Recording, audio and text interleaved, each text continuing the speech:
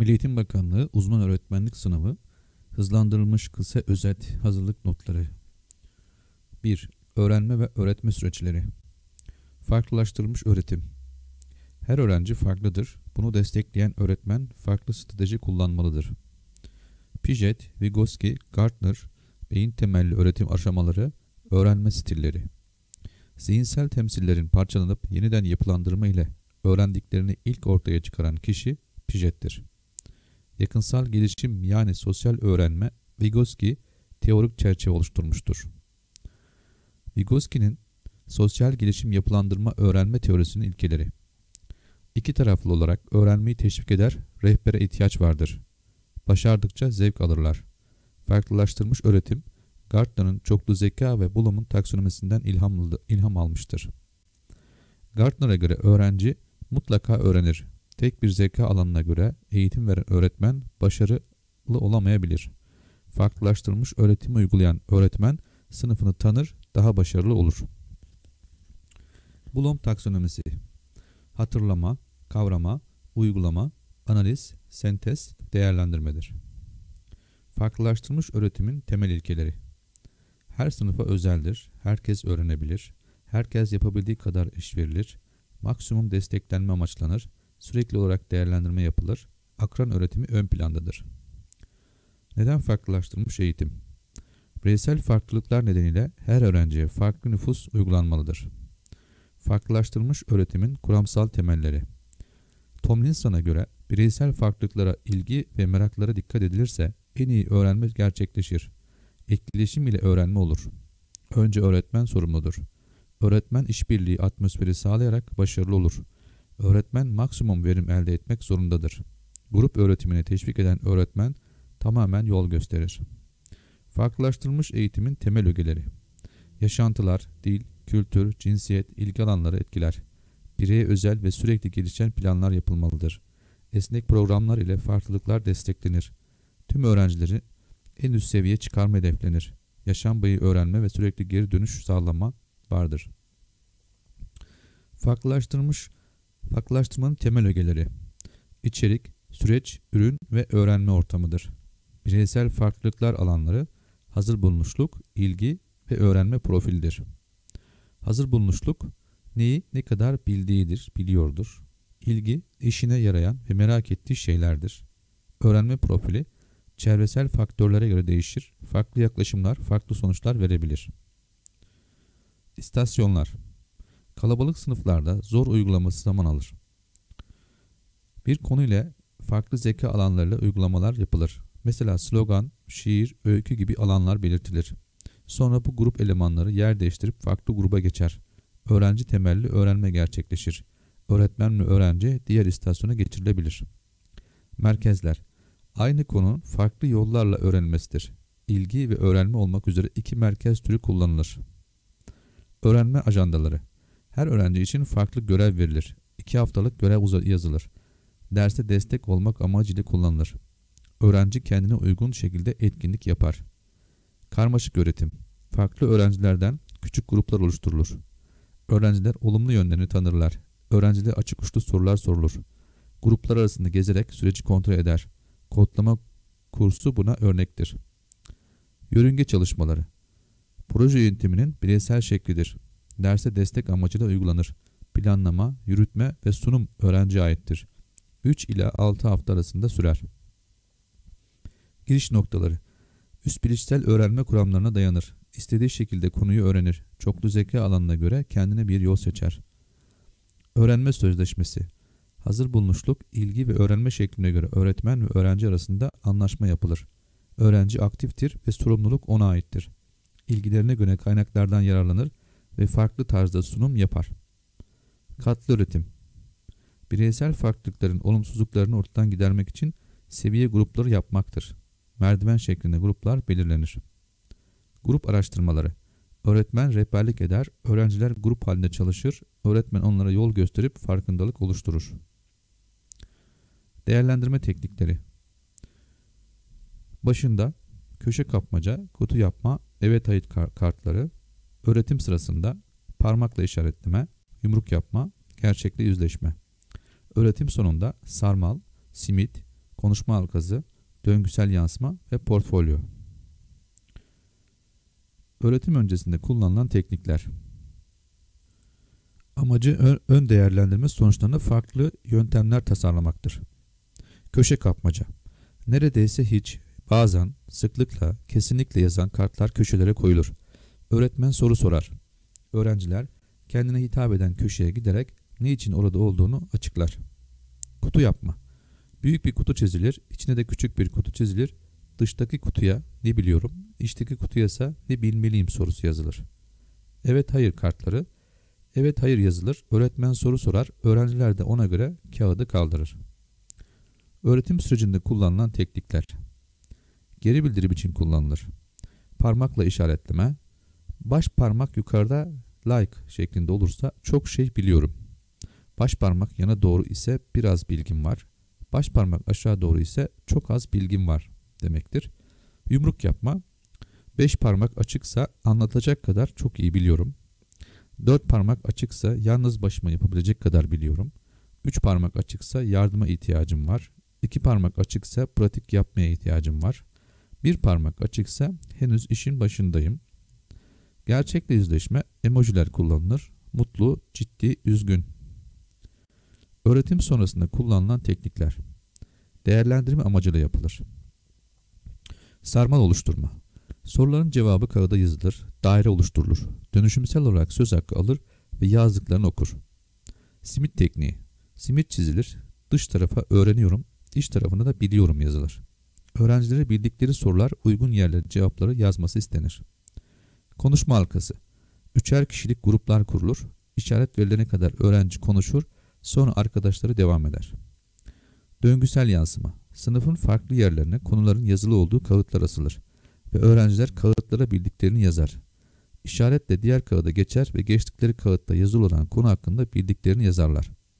Olay sonuçlanınca kağıtta yazılanlar sınıfta okunur. Portfolyo Öğretmen ve öğrenci birlikte çalışır. Sürekli bilgi toplama vardır. İlerlemeyi gösterir. Ölçümü ve değerlendirmeyi destekler. Geri bildirimi kolaylaştırır. Seçilen ürünler için renklendirme yapılır. Kırmızı nokta ile olanlar öğrenci tarafından seçilen ürünlerdir. Sarı nokta ile yapılanlar öğretmen tarafından seçilen ürünlerdir.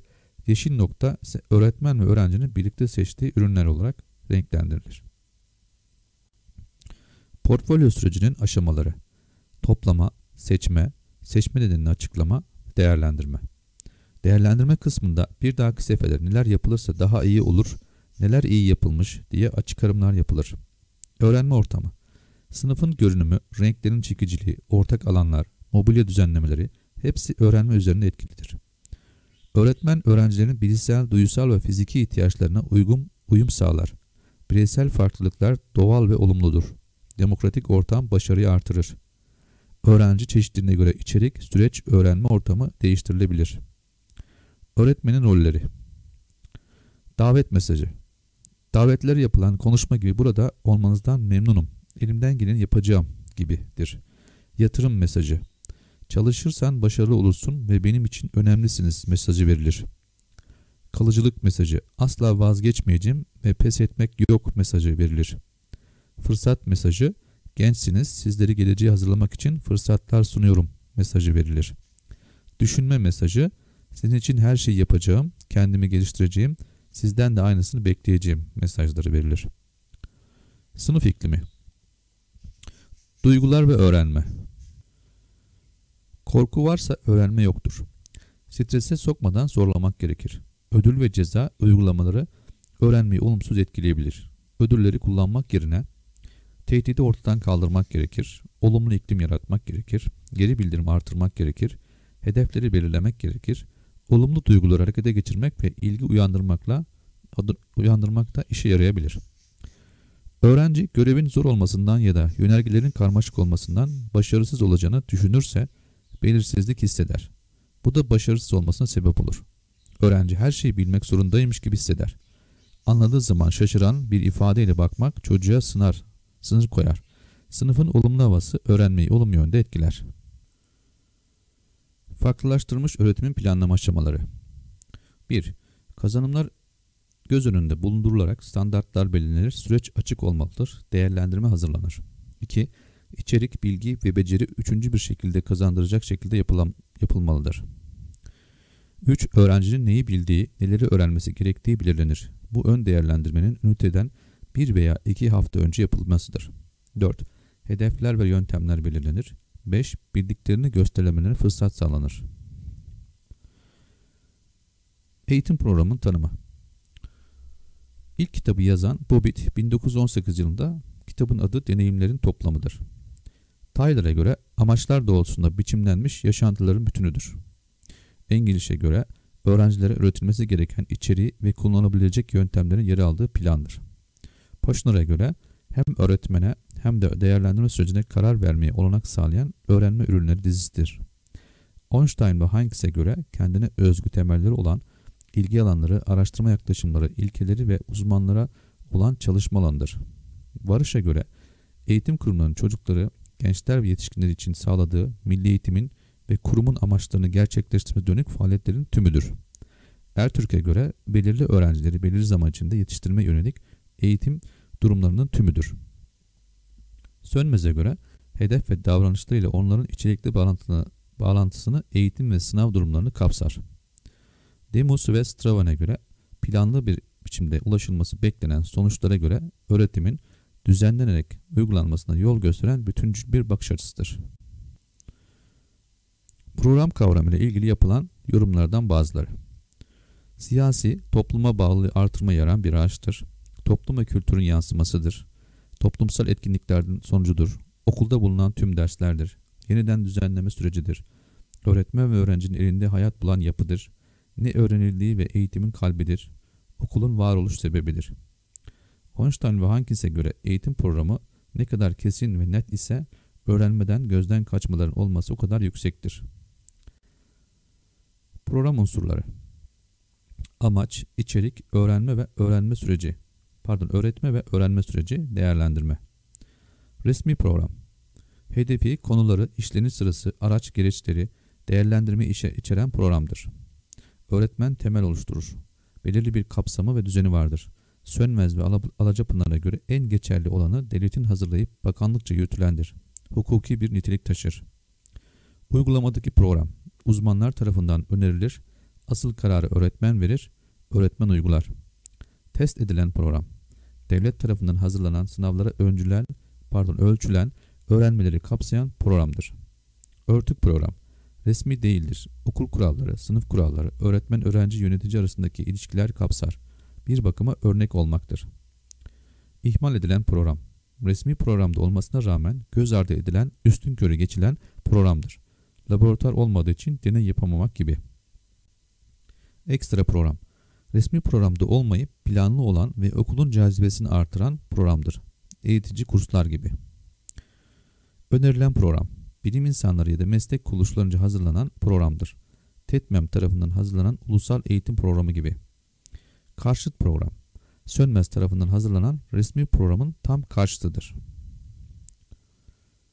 Program geliştirme süreci Hevit'e göre eğitim programı bilgiye katkı sürecinin temsil eder. Eğitim süreçlerinin planlı ve sistemli olmalarını sağlayan programın durağan olması mümkün değildir. Einstein ve Hankis'e göre Programlar dinamik olmalı, amaç hedef değil yolculuk olmalıdır. Sürekli değişilmelidir. Demirel'e göre hedef, içerik, öğrenme ve öğretme süreci ve değerlendirme arasındaki dinamik ilişkidir. Araştırmaya dayalı olması gerekir. Planlama, tasarlama, deneme, değerlendirme, programa süreklilik kazandırma, Türk eğitim sisteminde Demirel tarafından geliştirilen model temel alınmıştır. Programın planlanması Gerekli olacak unsurları, biçimleri belirler ve sürece kuş bakışı görünüm sağlar. Kimlerin hangi amaçla yer alması gerektiğini karar verilmelidir. Yol haritası çizilerek temel teşkil edecek gereksinimlerin belirlenme süreci planlanır. Tyler, ihtiyaç analizi yapılarak ihtiyaçlara uygun çözüm yolları bulma olarak tanımlamaktadır. Maslow, bireyleri harekete geçiren en temel şey gereksinimlerdirler. Bu gereksinimler program geliştirme kaynaklı eder. Sadece bireyle ilgili değil toplum, doğa, konu alanına da içine alır. Zaman alacağı ve maliyetli bir süreç olduğu için planlama yapılması, verilerin toplanması, analiz edilmesi ve raporlanması gerekir. Program tasarısının hazırlanması Amaç, içerik, öğrenme ve öğretme süreci de ilk ölçme ve değerlendirmeyi kapsar. neden yapıldığı, amaca ulaşıp ulaşmadığına nasıl anlaşılacağı sorular yanıtlanır. Önemli olan gereksinimleri iyi analiz etmek ve tüm ögelerin birbirine destekleyerek temel alınan felsefe görüşü yansıtacak, gelişim özelliklerini dikkate alacak bir biçimde hazırlanmasıdır. Programın uygulanması Amaca ulaşıp ulaşmadığını belirlemek için deneme uygulamasına gereksinim vardır. Hebit, pilot uygulamasında ki amaç nasıl göründüğünü anlayabilmektir. Toplanan veriler aksayan yönler hakkında bilgi verir. Uygulamada dikkat edilmesi gereken oluşacak dirençlere karşı bir tedbir almaktır. Programın değerlendirilmesi, karar verme sürecidir. Uygulama süreci incelenir. Uygunluğuna karar verilir. Bu sürecin sonunda olduğu gibi uygulanabilir, geliştirilebilir, tekrar uygulanabilir veya sonlandırılabilir. Programa süreklilik kazandırma. Döngüsel bir süreçtir. Değişim kaçınılmaz olduğu için sürekli gelişir. Gereksinimler farklılaşır. Program değerlendirmenin amacı. Değerlendirme karar verme sürecidir. Her Türkiye göre istenen davranış değişikliğinin başarılı olup olmadığını belirlenmesine olarak tanımlanır. Barnes'e göre 5 na 1K sorunundan cevap bulabilmektedir. Varış'a göre geliştirme ve değerlendirme iç içe yürütülen bir süreçtir. Posner'a göre program değer, değerinin belirlenmesi değerlendirmenin kendisidir. Einstein ve Hankis'e göre bir konu hakkında karar vermek için bilgi toplama sürecidir. Bilgi toplama ve uygulama sürecini kapsar. Olivia'ya göre başarılı olması için soru sormak, doğru soru sormak, doğru soruları doğru insana sormak gerekir. Melros'a göre millete olan faydası sorgulanır. Yüksel ve Sağlam'a göre program değerlendirme yaklaşımlarından bağımsız olarak planlama, bağlamın tanımlanması, veri toplama, yöntemine karar verilmesi, ölçme araçları hazırlanıp nasıl uygulanacağını belirlenmesi, değerlendirme amacına karar verilmesi, niçin değerlendirileceği açık şekilde belirtilmeli, amaçlar tüm paydaşların gereksinimlerine göre belirlenmeli, en önemli kısmı neden yapılacağı, bulguların hangi amaçla kim tarafından kullanılacağı, daha önce değerlendirilip değerlendirilmediği ve maliyeti açıklığa kavuşmalıdır.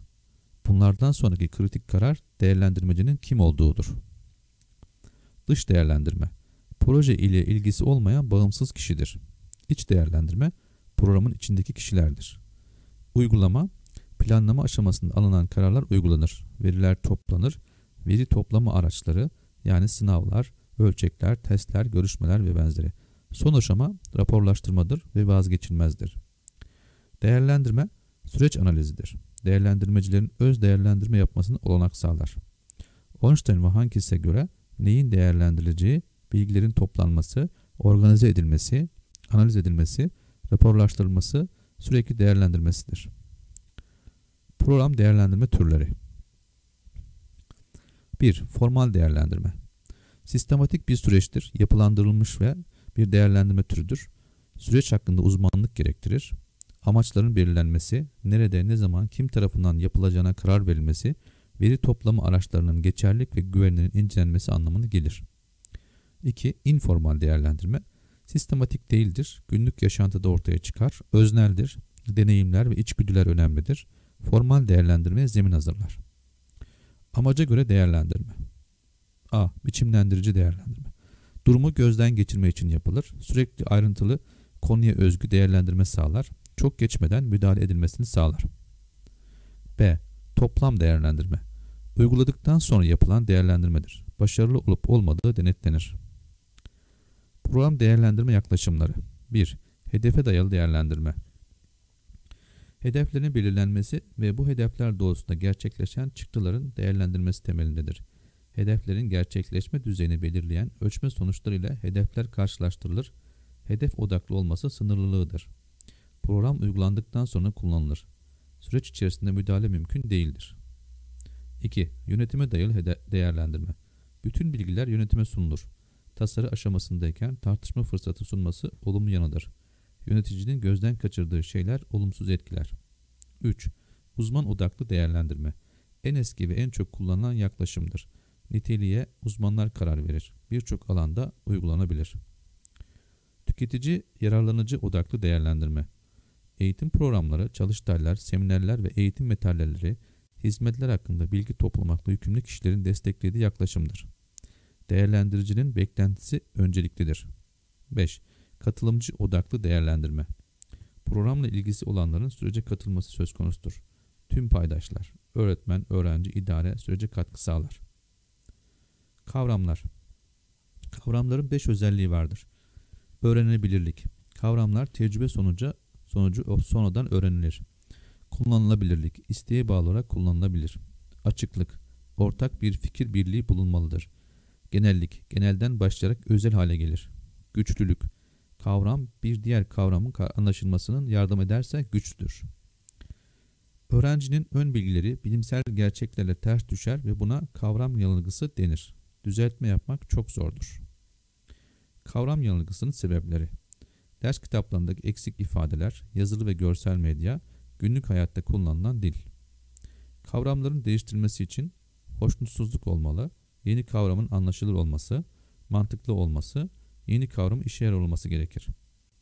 Kavram geliştirme süreçleri genelleme, ayrım, tümevarım, tanımlama, tümden gelim. Kavram yanılgısında kullanılacak araçlar Kavram haritaları, zihin haritaları, kavram karikatürleri, metaforlar ve analojiler, 2-3 aşamalı testler. Kavram haritası hazırlanırken dikkat edilecekler. Tek bir akış diyagramı şeklinde hazırlanmalıdır. Özel isimler kavram değildir, yazılamaz. Her kavram bir defa kullanılmalıdır. Kavramlar renklendirilebilir. Kavram haritaları derse giriş aşamasında konuyu bütün halinde görmeyi sağlar.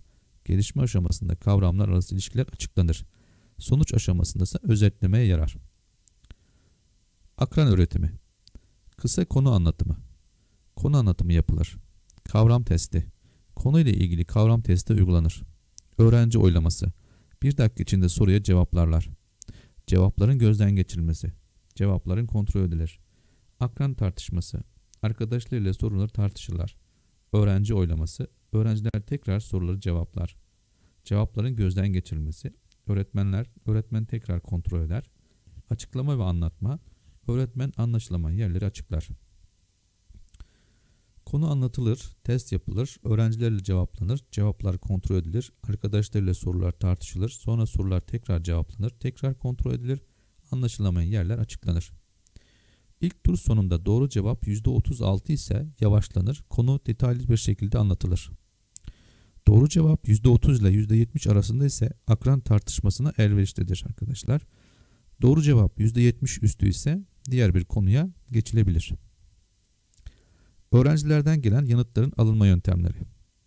El kaldırma. En kolay ve en kısa sürede cevap almayı sağlar. Flash kartlar. A, B, C şeklinde kağıtlar dağıtılıp cevaplama yapılır. Tarama formları. Büyük gruplarda tercih edilir. Clickers teknolojik uygulamadır, aparat gereklidir. Çevrim içi yanıt sistemi Web 2.0 araçları kullanılır. Teknolojik uygulamalar öğrencinin ilgisini çekebilir ama öğretmen için maliyetli olabilir. Okul dışı öğrenme Öğretim planının temel alan ve sınıf dışındaki alanlarda olan öğrenmedir. Okul süreci boyunca okul yapısı dışında gerçekleşir. Informal öğrenme ne, nerede, nasıl sorulan cevap verecek şekilde düzenlenir. Okul dışı öğrenme ortamları. Etkinlik öncesi hazırlıklar. Etkinlik planı hazırlanırken idare ve aileden izin alınır. Ulaşım planlaması yapılır. Gidilecek yerdeki muhatap alınacak kişinin belirlenmesi, öğrencileri bilgilendirilmesi yani kurallar söylenir. Velilerin bilgilendirmesi yapılır. Öğrencilerin çalışma programı belirlenir. Öğrenci ihtiyaçları dikkate alınır. Yiyecek içecek gibi. Etkinlik uygulaması. Çalışma kağıtlarının doldurması için uygun zaman verilmeli. Öğrenciler serbest zaman da verilebilmelidir. Etkinlik sonrası değerlendirme. İlla ki not verme amaçlı olmamalıdır. Kazanımların ne ölçüde olduğu yoklanmalıdır. Değerlendirme araçları. Kavram haritaları, zihin haritaları, etkinlik sonrası değerlendirme, metin çözümleme, bulmacalar, gazete poster hazırlama, fotoğraf sergisi, mektup yazma gibi. Öğrenme ortamı. İstek olmadan öğrenme olmaz. En önemli itici güç meraktır en geniş tabanlı öğrenme yaparak yaşayarak öğrenmedir. Öğrencilerin özgüveni sürekli desteklenmelidir. Hatalar önemli deneyimlerdir. Geri bildirimler bilişsel ve duyusal özellikler üzerinde olumlu etki yapar. Etkili geri bildirim Bulama göre öğrenci duyusal özellikler arasında en önemli olan akademik özgüvendir. Akademik özgüven öğrenme kapasitesidir. En çok etkileyen aile, akranlar ve öğretmenlerin tavırlarıdır. Geri bildirimler ikiye ayrılır pozitif ve negatif. Geri bildirimler sadece bilişsel değil, aynı zamanda üst bilişsel becerileri ve duyusal özellikleri geliştirmeyi de hedeflemelidir. Ürüne yönelik olmalı, kişiye değil, doğrudan yanıta değil, düşündürmeye yöneltmelidir. Web araçları Kavot Anlık geri bildirim verilebilir. Hatırlama ve anlama düzeyindeki sorulara yönelik geri bildirimler kullanılır. Formatif Anlık geri bildirim verilir. Etkileşime girilerek cevaplar görülebilir, ayrıntılı geri bildirimler düzenlenebilir. Sokratif, çoktan seçmeli, doğru yanlış, kısa cevaplı sorular hazırlanır, anında geri bildirim sağlanabilir. Edmodo, sanal sınıf uygulamasıyla akran bildiriminde olanak sağlar. Video linki paylaşılabilir, tartışma formları açılabilir, ödevler verilerek sunum materyalleri yüklenebilir. Google Drive, ortak dokümanlar oluşturulabilir, doküman üzerine değişiklik yapılabilir.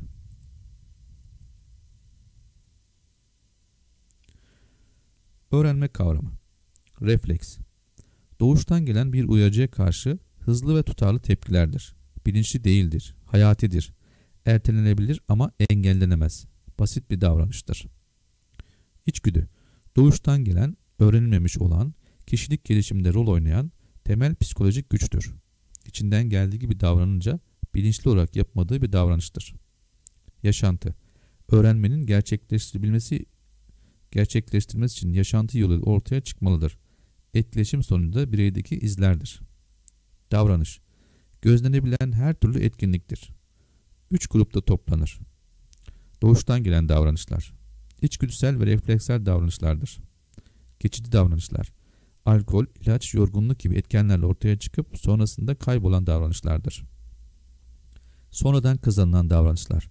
Öğrenme yoluyla kazanılan davranışlardır. Öğrenme iki yolu olur planlı ve gelişi güzel.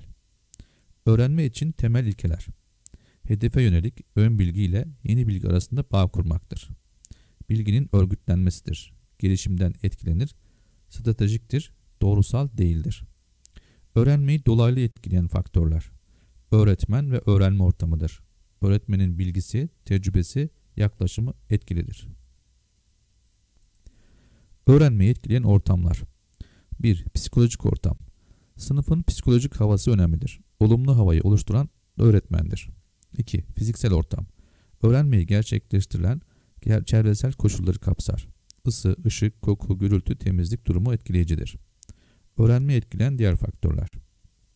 Öğrenenden kaynaklı. Türe özgü hazır oluş, olgunlaşma, genel uyarılmış hali, eski yaşantının aktarılması, güdü ve dikkattir.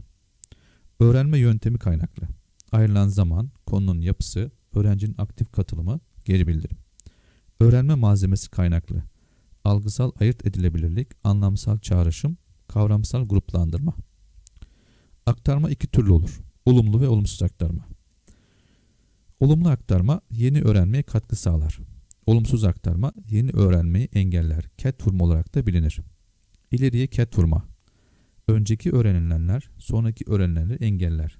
Eski şifreyi hatırlama, yeni şifreyi unutma gibi. Geriye ket vurma. Sonraki öğrenenler önceki öğren öncekileri engeller. Güdü. İstek, arzu, gereksinimler, dürtüler ve ilgileri kapsar. Organizmayı harekete geçirir. Fizyolojik kökenli olana dürtü denir. İçsel ve dışsal kaynaklıdır. Birincil güdüler fizyolojiktir. İkincil güdüler ise başarma, güce ait olma, egemenlik gibi. Eğitim kurumlarının en önemli hedefi öğrenmeyi öğretmedir. Öğretim stratejileri Sunuş yoluyla öğretim Öğretmen merkezlidir. Tümden gelim yöntemi kullanılır. Az zamanda çok bilgi kazandırabilir. Kavram ve soyut son konuların öğretimi için 5. sınıftan itibaren kullanılır. Kavram haritaları kullanılır. Kalabalık sınıflar için idealdir. Sadece bilgi düzeyinde kullanılır. Öğrenci aktivesi düşük, sıkıcı olabilir. Dönüt almak zor olduğu için hataların düzeltilebilmesi imkan dahilinde olmayabilir. Buluş yoluyla öğrenme. Öğrenci merkezlidir. Öğrenci araştırır, deney yapar ve bilgiye kendisi ulaşır. Tümevarım yöntemi kullanılır. Merak duygusunu harekete geçirmek önemlidir. Öğrenme güdüsünü artırır. Kalıcı öğrenme gerçekleşir. Üst düzey düşünme becerilerini hedefler. Kavrama ve üst düzey hedefler için uygundur. Çok zaman alır, maliyetlidir. Ön bilgiye muhtaç olduğu, ön bilgiye muhtaçtır. Olgu öğretiminde etkili değildir. Araştırma inceleme yoluyla öğrenme. Öğrenci merkezli, öğretmen uygun problemleri belirler. Problemler hayatla bağlantılı, merak uyandırmalı, birden çok çözüm olmalı. Tüme varım, tümden gelim ikisini de kullanmalı. Hedefler en az uygulama düzeyinde olmalı. Üst düzey zihinsel beceriler için aşamaları. Hissetme, tanımlama, bilgileri toplama, hipotezler kurma, çözümü için veri toplama, hipotezleri test etme, problemin çözünü raporlaştırma gibi. Araçtan koku geldi, balata kokusu dedin, sebepleri topladın, ne yapman gerektiğini düşündün, usta telefonu buldun, ustayı aradın, test ettin, usta gelsin, çözsün, raporlaştırsın gibi bir örnek verilmiş. Tam öğrenme, bulom. Tam öğrenme olmadan geç, e, geçmek yoktur. Her, herkes öğrenir, yeter ki zaman, yeter ki öğretmen iyi olsun. Her ünite sonunda izleme testi uygulanır ve %70 standarttır. Tamamlayıcı öğretim teknikleri, etkinlikleri. Birebir eğitimdir. Okulda veya evde ek öğretim eğitsel oyunlar ile bilgisayar destekli eğitimdir. Tam öğrenmemiş, öğrenmenin giriş ve gelişme kısmı bağımsız değişken, sonuç kısmı ise bağımlı değişkendir. Bilişsel giriş davranışlar. Bilgi, beceri, yetenekler, sözel ve işitsel yetenekler, okuduğunu anlama, dinleme becerisi, problem çözme becerisidir. Duyusal giriş davranışları. İlgi, tutum, akademik özgüvendir. Eğitimde güncel yaklaşımlar. Yapılandırıcı öğrenme. Piaget, Vygotsky, Bloom, Dewey, Gestalt ve Brunner. Öğrenci aktif, nesnel bilgiyi reddeder, öğrencinin bilgiyi yapılandırması, oluşturması, yorumlaması ve geliştirmesine fırsat verir. Ders planları esnek, bireysel, farklılıkları önemli, akran öğretimi var, kavram öğretimi esastır, değerlendirme süreci dönüktür, portfolyo gibi. Buluş yoluyla öğrenmenin gelişimini gelişmiş halidir. Proje tabanlı öğrenme. Dewey, Kilpatrick, Brunner. Gerçek bir probleme çözüm bulma etkinliği, ürün ya da performans ortaya koyma, öğrencileri özgün ve sentez düzeyinde düzen ürünler ortaya koymalı, bireysel ya da grupla çalışma vardır. Sürecin sonunda sergi, gösteri ve benzeri etkinlik yapılır. Artı ve eskiler e, artı ve eskilerden öğrenci sorumludur. Pardon, artı ve eksilerden öğrenci sorumludur. Zaman sıkıntısı yaşanabilir. Her zaman orijinal ürün çıkmayabilir. Probleme dayalı öğrenme. Devey, yaparak yaşayarak öğrenmedir. Bir problem olmalı, ilgi ve merak uyandırmalı. Asıl amaç problemi çözmek değil, benzer durumlara uyarlamaktır. Üst düzey zihinsel becerileri hedef alır. Birden çok çözüm yolu olmalıdır. Küçük gruplarda uygulanmalıdır. 2 ile 6 kişi. Beyin temelli öğrenme. Öğrenme 5 duyu organı hitap etmeli. Beynin her iki lobu kullanılırsa daha başarılı olur. Uzamsal belleğe kaydedilen bilgiler unutulmaz. Öğrenme teşvikle artar. Harmanlanmış öğrenme.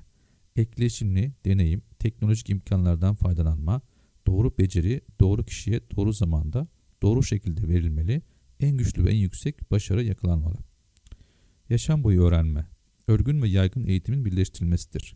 Her zaman ve her yerde bilerek, isteyerek öğrenme şeklidir. İşbirlikli öğrenme, birlikte başarma ön plandadır. Bağlılık, yüz yüze etkileşim, kişisel sorumluluk, sosyal beceriler, eşit başarı ilkesi, tam başarı sağlanır. Bireysel çalışmayı seven öğrenciler için ideal değil, değerlendirme zor, çalışma bir kişi üzerinde yıkılabilir.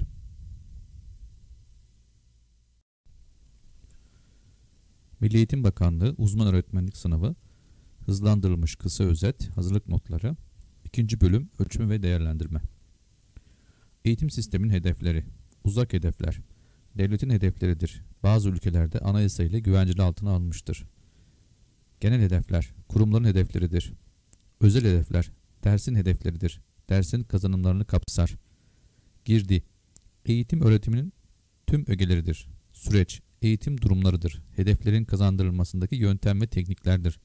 Çıktı öğrencilerin sahip oldukları niteliklerdir. Dünya Ekonomik Forumu'na göre 2025 yılında çalışanlarda olması gereken beceriler. Analitik düşünme, teknoloji kullanımı, yenilik ve yaratıcılık, etkin öğrenme ve öğretme, karmaşık problem çözme, eleştirel düşünme ve analiz, orijinallik, liderlik ve sosyal etki. Ölçme ve değerlendirmenin kavramsal temelleri. Ölçme, öğrencinin belirli bir özelliğini gözlemleyip o özelliği sayı ya da sembol ile e, sayı, sayı ve sembol verme işidir. Ölçmenin anlamlı olması için mutlaka değerlendirme olmalıdır. Ölçme yapılmadan girdiği süreç ve çıktılar kontrol altına alınamaz. Ölçüt Ölçülen özellik hakkında karar alabilmek, yargıya varabilmek, değerlendirme yapabilmek için referans noktası ya da aralıktır. Değerlendirme Ölçme sonucunu ölçütle karşılaştırıp karar verme işidir. Ölçüt, ölçme ile değerlendirme arasında bir köprü vazifesi görür. Ölçme türleri Doğrudan ölçme Doğrudan gözlenerek yapılan ölçmedir. Duyu organlarımızla yapılan ölçmedir. Öğrenci sayısı, ait sayısı gibi. Dolaylı ölçme. Bazı özellikler doğrudan ölçülemez. Bu özellikler ancak onun göstergesi olduğu bilinen ya da kabul edilen davranışlar aracılığıyla ölçmedir. Sıcaklığı dereceli ölçme gibi. Eğitim ve psikoloji tümüyle dolaylı ölçmedir. Elektronik cihazların tamamı dolaylı ölçmedir. Türetilmiş ölçme. Hesaplamaya ya da formüle dayalı ölçmedir. Ölçme türleri. Mutlak ölçüt. Ölçme işleminden önce belirtilir. Kesindir ve sınırı sınırı geçen herkes başarılı sayılır. Bağıl ölçüt. Ölçme işlemi sonrasında belirlenen rekabetin ön planda olduğu kıyaslanan ölçme yöntemidir. Hayati kararlar ile muafiyet kınavları mutlak değerlendirme ile eleme amaçlı ise bağıl değerlendirme ile ölçülür arkadaşlar. Tekrar ediyorum. Hayati kararlar ile muafiyet sınavları mutlak değerlendirme, eleme amaçlı ise bağıl değerlendirmedir. Amaca göre değerlendirme türleri. Tanıma ve yerleştirme yönelik değerlendirme. Hazır bulunuşluk seviyesini ölçer, seviye sınıfları düzenlenirken yapılan uygulamadır. Biçimlendirme yönelik değerlendirme. Öğrenme düzeyini ölçer, konu tarama testleri örnektir, not verme amacı yoktur, tek amacı eksikleri belirlemektir. Değer biçmeye, düzey belirleme yönelik değerlendirme. Not vermek amacıyla yapılır, bitirme sınavları örnektir. Rehberlik amaçlı değerlendirme. Özel eğitim ve mesleki rehberlik için yapılan değerlendirmedir. Özel eğitim. Özel gereksinim olan çocuklara uygun eğitimin programını hazırlayıp hazırlamak amacıyla yapılan değerlendirmedir. Mesleki rehberlik. Alan seçmek, kendi yeteneklerinin farkına varmak için yapılan değerlendirmedir. Ölçme aracında bulunması gereken özellikler. Geçerlilik. Ölçülecek özelliğin başka özellikleriyle karıştırılmadan doğru ve tam olarak ölçülebilmesidir amaca hizmet etmesi gerekir. Güvenilirlik, ölçme sonunda elde edilen puanların kararlı ve tutarlı olmasıdır. Kullanışlık, ölçme aracı geliştirmenin, uygulamanın ve puanlamanın kolay ve ekonomik olmasıyla ilgilidir. Ölçme sonuçlarını hata karışma nedenleri. Dikkat ve titizlik zamandan zaman değişebilir. Fiziksel koşullar nedeniyle hatalar olabilir. Ölçme aracına ilişkin hatalar olabilir. Katılımcı yeteri kadar güdülenmemiş olabilir. Sabit hata her ölçme işlemini aynı miktarda etki ediyorsa sabit hatadır. Herkes aynı miktarda puan verme örnektir. Kaynağı ve miktarı bellidir. Mesela terazinin her seferinde aynı miktarda eksik tartması gibi. Geçerlilik düşer, güvenilirlik etkilenmez. Herkese 10 puan verme. Sistematik hata Ölçülerin büyüklüğüne göre ya da ölçme koşullarına göre miktar değişen hatadır. Yazısı kötü olandan puan kırma gibi. Tesadüfi hata şansla ortaya çıkan ve miktarı belli olmayan hata türüdür. Tesadüfi hataların kaynakları. Öğretmenden kaynaklı hedefler, hatalar, dikkat dağıtacak ya da öğrencileri kaygılandıracak hareketler, sınav esnasında başında durma ve benzeri, sınavdan kaynaklı hatalar, sınavın açık ve anlaşılır olmamakla birlikte uzun olması ve şans faktörünün devreye girmesi, öğrenciden kaynaklı hatalar, fiziksel, fizyolojik ve psikolojik durumlar, Ortamdan kaynaklı hatalar, ısı, koku, gürültü kaynaklı hatalardır. Geçerlilik, sabit ve sistematik tesadüf hatalardan etkilenirken güvenirlik sadece tesadüf hatalardan etkilenir. Güvenilir olması geçerli olduğu anlamına gelmez. Korelasyon İki değişken arasında ilişki bulunup bulunmadığı varsa yönü hakkında bilgi verir. Eksi 1 ile artı 1 arasında değer alır. 201 birimlik skala arasında ilişkinin yönü ve miktarı değerlendirilir. Pozitif korelasyon doğru orantılı artıştır. Ders çalışma süresiyle başarı gibi. Negatif korelasyon ters orantılıdır. Ders süresi arttıkça başarı azalır. Eks, artı 1 ve eksi 1 olursa mükemmel korelasyon. Artı 1 mükemmel doğru orantılı. Eksi 1 mükemmel ters orantılı. 0 ise mükemmel ilişkisizlik olarak tanımlanır. Geçerlilik sorgulama yöntemleri 1. Kapsam geçerliliği Ne kadar işe yarayıp yaramadığı ve ölçmeye kolu olan davranışlara yeterli ve dengeli biçimde temsil etmelidir. kazanımla doğrudan ilişkili olmalıdır. Kapsam geçerli sorgulama yöntemleri. Belirtge tablosu hazırlama, davranışları satıra hedefleri sütuna yazılır uygun halde madde sayısıyla dengeli temsil etme. İstatistiksel yöntemler, uzmanlardan alınan dönütler ve uzmanların uygundur veya değildir değerlendirme sonucunda kullanılabilir. 2. Ölçüt dayanaklı geçerlikler. Ölçme aracının geleceğe dönük doğru tahmin yapıp yapmadığı ya da geçmişle olumlu sonuçlar verip vermediği araştırılır. İkiye ayrılır. A. Yordama geçerliliği. Ölçme aracının geleceğe yönelik doğru tahmin verip vermediğini gösterir. Örneğin YKS için yapılan denemeler gerçek sınavda ne kadar doğru olup olmadığını kıyaslayabilir, yordayabilir. B. Uyum geçerli. Ölçme aracını geçmişle uyumlu sonuçlar verip vermediğine bakar. Geçerlilik katsayısı artı 1 ile eksi 1 arasındadır. Artı 1 veya eksi 1'e yaklaştıkça artar, sıfıra yaklaştıkça düşer. En önemli nokta ölçütü doğru belirlemek gerekir. 3. Yapı geçerliliği. Ayrıcılık var mı yok mu ona bakar. Güvenilirlik, aynı özellikle ilgili olarak arka arkaya yapılan ölçümlerde aynı sayısal sonucu vermesidir. Güvenilirlik katsayısı 0 ile 1 arasında değişir. Güvenilirliğin katsayı 0.90 üzeri olması arzu edilir. Güvenilirlik kestirme yöntemleri. Birden çok uygulamaya dayalı, tek uygulamaya dayalı. Test tekrar ve test yöntemi. Aynı test aynı gruba belli bir zaman arayla iki kez uygulanır. İki uygulamanın korelasyon hesaplanır. Daha çok yetenek testlerinde ve kişilik envanterinde tercih edilir. Test yarılama yöntemi. Test iki eşdeğer parçaya ayrılır. Sonrasında iki yarıdan aldıkları puanın tutarlılığı incelenir. Sınırlılıkları. Maddeler basitten zora ise, maddeler kümelenerek yazılmış ise, madde sayısı çok fazla ise uygun değildir. KRA 20 ve KRA 21 yöntemleri. İç tutarlılık değerlendirilir. Doğrulara 1, yanlış ve boş cevaplara da 0 verilir. Şans başarısı yüksektir. Kronbach alfa yöntemi. Ölçme aracının puanlaması çok kategorili ise kullanılır. Derecelendirme ölçeklerine örnektir. Güvenilirliği artırma yöntemleri. Soru sayısı artarsa, birden fazla kişi okursa, kişi sayısı artarsa, sorunun anlaşılır olması, sorularla ilgili yönerge oluşturulursa, fiziksel ortam uygunsa, dikkat dağıtan ögeler olmazsa, sorular okunabilir olursa güvenilirlik artar. Güvenilirlik artarsa geçerlilik de artar.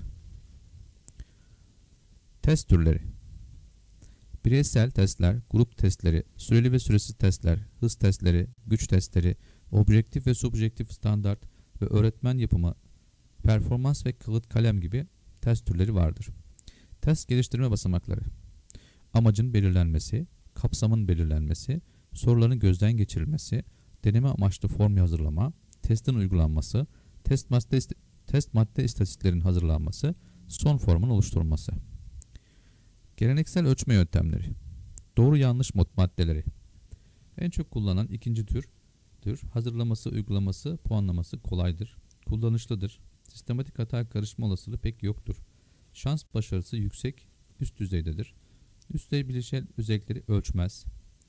Öğrenme eksiklikleri belirlenemez. Her madde tek bir ve belirli bir fikri belirtmelidir.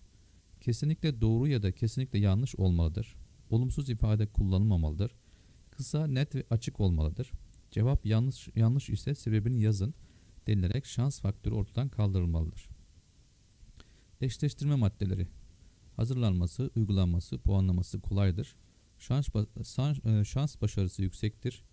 Eşleştirme grubunda en az 6, en çok 15 madde olmalı ve tüm maddeler aynı sayfada olmalıdır. Kavrama düzeyindeki öğrenmeleri de yoklanabilir. Çoktan seçmeli maddeler Hazırlanması zor, puanlaması kolay ve objektiftir. Çok sayıda soru sorulabilir. Çeldirme mantığı temellidir. Anlamı bilinmeyen sözcükler kullanılmamalıdır. İpucu vermekten kaçınılmalı ve doğru cevaplar örüntü şeklinde kesinlikle olmamalıdır. Esay, yazılı yoklama, en eski ve en çok kullanılan yöntemdir. Hazırlanması kolaydır. Üst düzey becerileri ölçmek için geleneksel yöntemler arasında en etkili olandır. Ayrıntılı bir cevap anahtarı olmalıdır. En büyük dezavantajı puanlama kısmıdır. Kısa cevaplı sorular. Cevapların kısa ve belirgin olması en büyük avantajıdır. Ayrıntılı cevap anahtarı hazırlanmalıdır. Boşluk doldurma. Hazırlaması çok kolaydır, açık ve anlaşılır olmalıdır. Anahtar sözcükler cümleden çıkarılıp ona göre soru oluşturulmalıdır. Sözlü yoklama. Ölçme hatası ihtimali çok fazladır. Sözel becerileri ölçebilmede kullanılacak tek türdür. Süre uzun cevapları gözden geçirme şansı yoktur. Puanlama hemen yapılır. Sözlü anlatımı iyi olan bireyler başarılı olur. Kapsam geçerli açısından sıkıntı yaşanabilir. Sorular basitten karmaşa doğru olmalıdır. Portfolyo çok yönlü ve sürece yayılan değerlendirmedir. Öğrencinin özgeçmişi, ilgileri, yetenekleri, öğrenme biçimi, sosyal özelliklerin tanınmasını amaçlar. Paydaşları öğretmen, öğrenci, arkadaş, aile ve diğer kişilerdir. Karşılaştırma yoktur. Sadece okulda değil, aile ortamında tanımayı da amaçlar. Portfolyo oluşturma süreci 1. Toplama Hangi çalışmaların toplanacağına, gözleneceğine karar verir. Her öğrencinin ayrı dosyası vardır. Her çalışmanın üzerinde tarih yazılır. 2. Seçme Seçimi kendi başına ya da öğretmenle birlikte yapar. 3. Yansıtma En önemli aşamadır. Portfolyoya seçilen ürünün neden seçildiği açıklanır. Kendi başarısını görür, değerlendirmeye katılır. 4. Sonuç Niçin yaptık sorusunu yanıtlar. Sunum yapılır. Öğrencinin bu sayede özgüveni artar. Performans değerlendirme iki çeşittir. Öğrenci değerlendirme. Öz değerlendirme ve akran değerlendirme olarak yapılır. 2. Öğretmen değerlendirmesi, rubrik, kontrol listesi, derecelendirme ölçeği, gözlem formu. 1A. Öz değerlendirme. Kendi kendine değerlendirme, zayıf ve güçlü yönlerini fark eder. Objektif olmayabilir. Başlangıçta deneyimsizlik nedeniyle hatalar olabilir. 1B. Akran değerlendirmesi, arkadaş değerlendirmesi, sorumluluk artar. Eleştirel düşünme artar. Yanlı davranma olabilir. 2A. Rubrik değerlendirme. Performans görevi ile birlikte değerlendirme ölçeği öğrenciye verilmelidir. 2B. Kontrol listesi. Performans ölçüt uyumunu ölçer. Evet, hayır ya da 1 veya 0 olarak puanlama yapılır. Performanstaki eksik adımları belirlemek için kullanılır. 2C. Derecelendirme ölçekleri. Performansa dayalı işlemler ile baştan sona kadar listelenir ve davranışın karşısına en az üçlü derecelenme yapılır. Tam, kısmen, gösterilmedi gibi. 2D. Gözlem formları. Çıktılarını somut olduğu, çıktılarının somut olduğu durumlarda kullanılır. Özellikle fen derslerinde öğrenci hakkında doğru ve hızlı bilgi edinmesini sağlar. Geleneksel yöntemlerle destekleyici yöntemlerin karşılaştırılması. Geleneksel yöntemlerde ürün değerlendirilir. Destekleyici de süreç ve ürün birlikte değerlendirilir. Gelenekselde ulaşılan noktaların tespiti önemlidir. Destekleyici de öğrenileri nasıl kullandığı önemlidir. Gelenekselde üst düzey beceriler değerlendirme yetersizdir. Destekleyici de üst düzey bilişsel düşünme odaklıdır. Gelenekselde değerlendirme öğrenmeden ayrıdır. Destekleyici de değerlendirme öğrenme ile beraberdir. Gelenekselde grup odaklıdır. Destekleyici de birey odaklıdır. Gelenekselde bireysel değil bireyler arası değerlendirme odaklıdır. Destekleyici de bireysel gelişme odaklıdır. Gelenekselde geçerlilik ve güvenlik kontrolü vardır. Destekleyicide geçerlilik güvenlik problemi yoktur arkadaşlar. Test istatistikleri.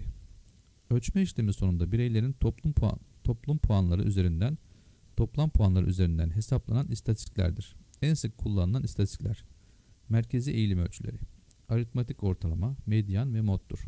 Temel işlevi puanlamadaki merkezi bulmaktır. Grup başarısı hakkında bilgi verir.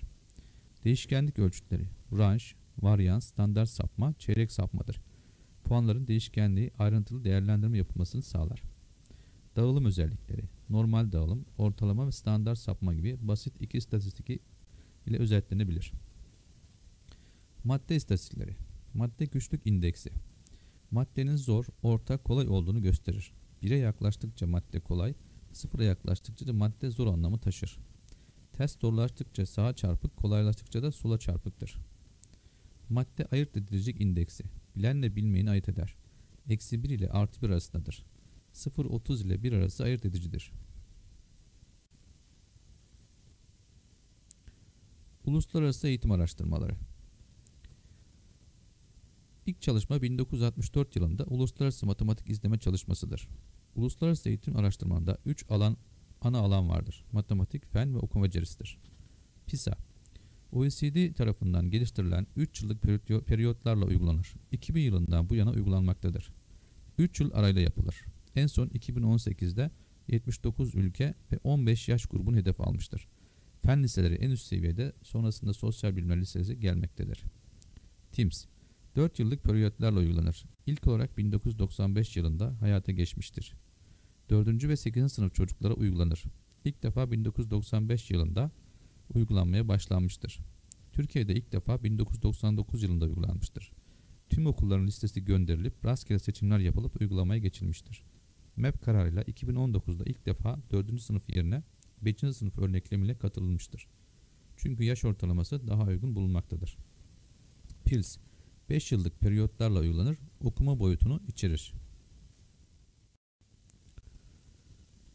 Milli Eğitim Bakanlığı Uzman Öğretmenlik Sınavı Hızlandırılmış Kısa Özet Bölüm 3 Rehberlik Yazının bulunmasıyla okullar önemli kurumlar haline geldi. İlk okullaşma Sümerler döneminde oldu. Konu öğretme esaslı, fiziksel ceza var, ezbere dayalı bir sistem. Konu merkezli eğitim. Konunun öğretilmesi esastır.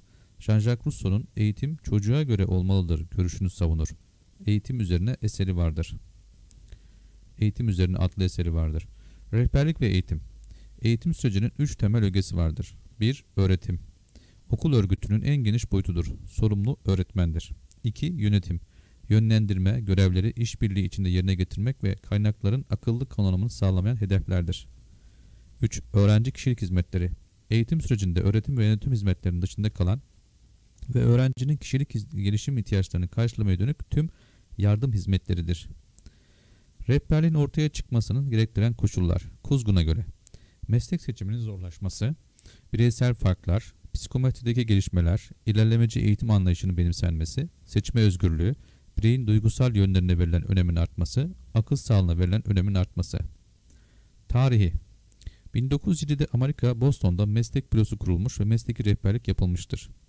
Günümüzde rehberlik 1900-1920 arasında meslek seçimi ve işe alma. 1930-1960 arasında okula uyum. 1960'tan günümüze ise kişisel gelişim ağırlıklı olarak gelişmiştir. 1. Parson modeli Meslek seçim sürecine katkı amacıyla yapılır. Garsondan aklımıza gelebilir. Ya da personel, person. 2. Özellik faktör modeli ayrıntılı inceleme yapar ve çok sayıda ölçme aracının geliştirmesine katkıda bulunmuştur. 3. Rehberliği eğitim süreciyle karşılaştıran model. Rehberliğin de bir dersin konusu olması gerekir ve bu düşünceyle ders saati ayarlamasına katkı sağlamıştır. 4. Rehberliği karar verme sürecine yardım olarak gören rehberlik. Karar aşamasında kullanılan rehberliktir. Süreklilik ilkesiyle çelişir. 5. Gelişimsel kapsamlı rehberlik. En güncel yaklaşımdır, süreklidir. Türkiye'de rehberlik 1951-1956 yılları hareketli yıllardır. 1952-1953 uzman getirme ve yurt dışına uzman gönderme sürecidir. 1953-1954 eğitim öğretim yılında Gazi Eğitim Enstitüsü'nde ders olarak okutulmaya başlanmıştır. 1955 yılında Ankara Demirli Bahçe İlkokulu'nda psikolojik servis merkezi açılmıştır. 1953 yılında test ve araştırma bürosu öğrenci yetenek ve ilgisine göre test hazırlamıştır. Bugün ise rehberlik illerde RAM, okullarda ise rehberlik servisi şeklinde yürütülmektedir. Rehberliğin anlamı ve amacı ilkeleri. Bireyin kendini anlaması, problemleri çözmesi, kapasitesini geliştirmesi, çevresine uyum sağlaması, kendini gerçekleştirmesi için uzmanlar tarafından yapılan yardımdır. Rehberliğin amacı bireyin kendini gerçekleştirmesidir. Rehberliğin ilkeleri 1. İnsan hak ve sorumluluklarıyla yakından ilgili demokratik ve insancıl. 2. Öğrenciyle yakından ilgili olan herkesle işbirliği içinde. 3. Öğrenciyi merkeze alır. 4. Öğrenciyi kendine yetebilen duruma getirme. 5. Bedensel, zihinsel ve sosyal duygusal olarak en üst düzeye çıkarmak. 6. Öğrenciyi tüm yönleriyle tanımak. 7. Okulun amaçlarına, ihtiyaçlarına uygun alanda yoğunlaşmak. 8. Planlı, programlı, profesyonel ve gizlilik esasına dayalıdır. Rehberlikte yanlış anlayışlar. Tek yönlü yapılan yardım değildir. Sadece duygusal yanı ile ilgilenmez. Yöntem, teknikler amaç değil, araçtır. Rehberlik yargılamaz ve ceza vermez. Sihirli bir güce sahip değildir. Oryantasyon Uyum çalışmasıdır. Okulun kurum olarak tanıtılması ve tarihi bina ve olanakları, çevre programları, etkinlikler, rehberlik servisi ve hakkında bilgi verilir. Müşavirlik öğrenci harici paydaşları verilen eğitimdir. Ortak bir rehberlik anlayışına sahip olmalarını sağlamaya yöneliktir. Araştırma ve değerlendirme Rehberlik hizmetleri sürekli olarak iyileştirilmeli, ihtiyaç analizleri yapılarak geliştirilmelidir. Okul rehberlik ve psikolojik danışma programı 1. Hizmetler modeli Oryantasyon, bireyi tanıma, bilgi verme, psikolojik danışma, yerleştirme, izleme biçiminde ele alınmıştır. 2. Süreç modeli Klinik ve terapötik yönü vurgulanmış, psikolojik danışmanlar, psikolojik danışma, müşavirlik ve koordinasyon rollerini üstlenmişlerdir. 3. Görevler modeli Psikolojik danışmana verilen görevlerin yapılmasıdır. 4. Kapsamlı psikolojik danışma ve rehberlik programları modeli geleneksel modellere tepki olarak ortaya çıkmıştır. A. Bireysel planlama Bireyi tanıma, bilgi verme, yerleştirme, izleme stratejilerini kullanır. Öğrenci kendi öğrenim planını yapar. B. Müdahale hizmetleri acil sorunlara ve ihtiyaçlara yönelik etkinlikleri sunar. C. Sistem desteği. PDR programının oluşturulması, sürdürülmesi ve geliştirilmesini sağlayacak eğitsel etkinlikler oluşur. D. Rehberlik müfredatı. Her düzeyde tüm öğrencilere normal büyüme ve gelişme bilgisi sağlamak, yaşam becerileri kazanmaya yardımcı olmak. Rehberlik hizmetleri yumurta, yumurt, yürütme komisyonu. Müdür veya görevlendirici yardımcısı, psikolojik danışman, Her sınıf düzeyinden birer sınıf rehber öğretmeni, ödül ve disiplin kurulu temsilcisi, okullarla birliği başkanı ve öğrenci temsilcisi, psikolojik danışman yoksa RAM'dan müşavirlik hizmeti alınabilir. Okul psikososyal destek ekipleri Travmatik ve zorlu olaylar karşısında psikososyal koruma, önleme ve krizde müdahale hizmetlerini yürütür. Tehdit, şantaj, taciz ve benzeri durumlarda bildirim yükümlülüğü vardır. İhmal ve istismar şüphesinde başvurulacak yerler.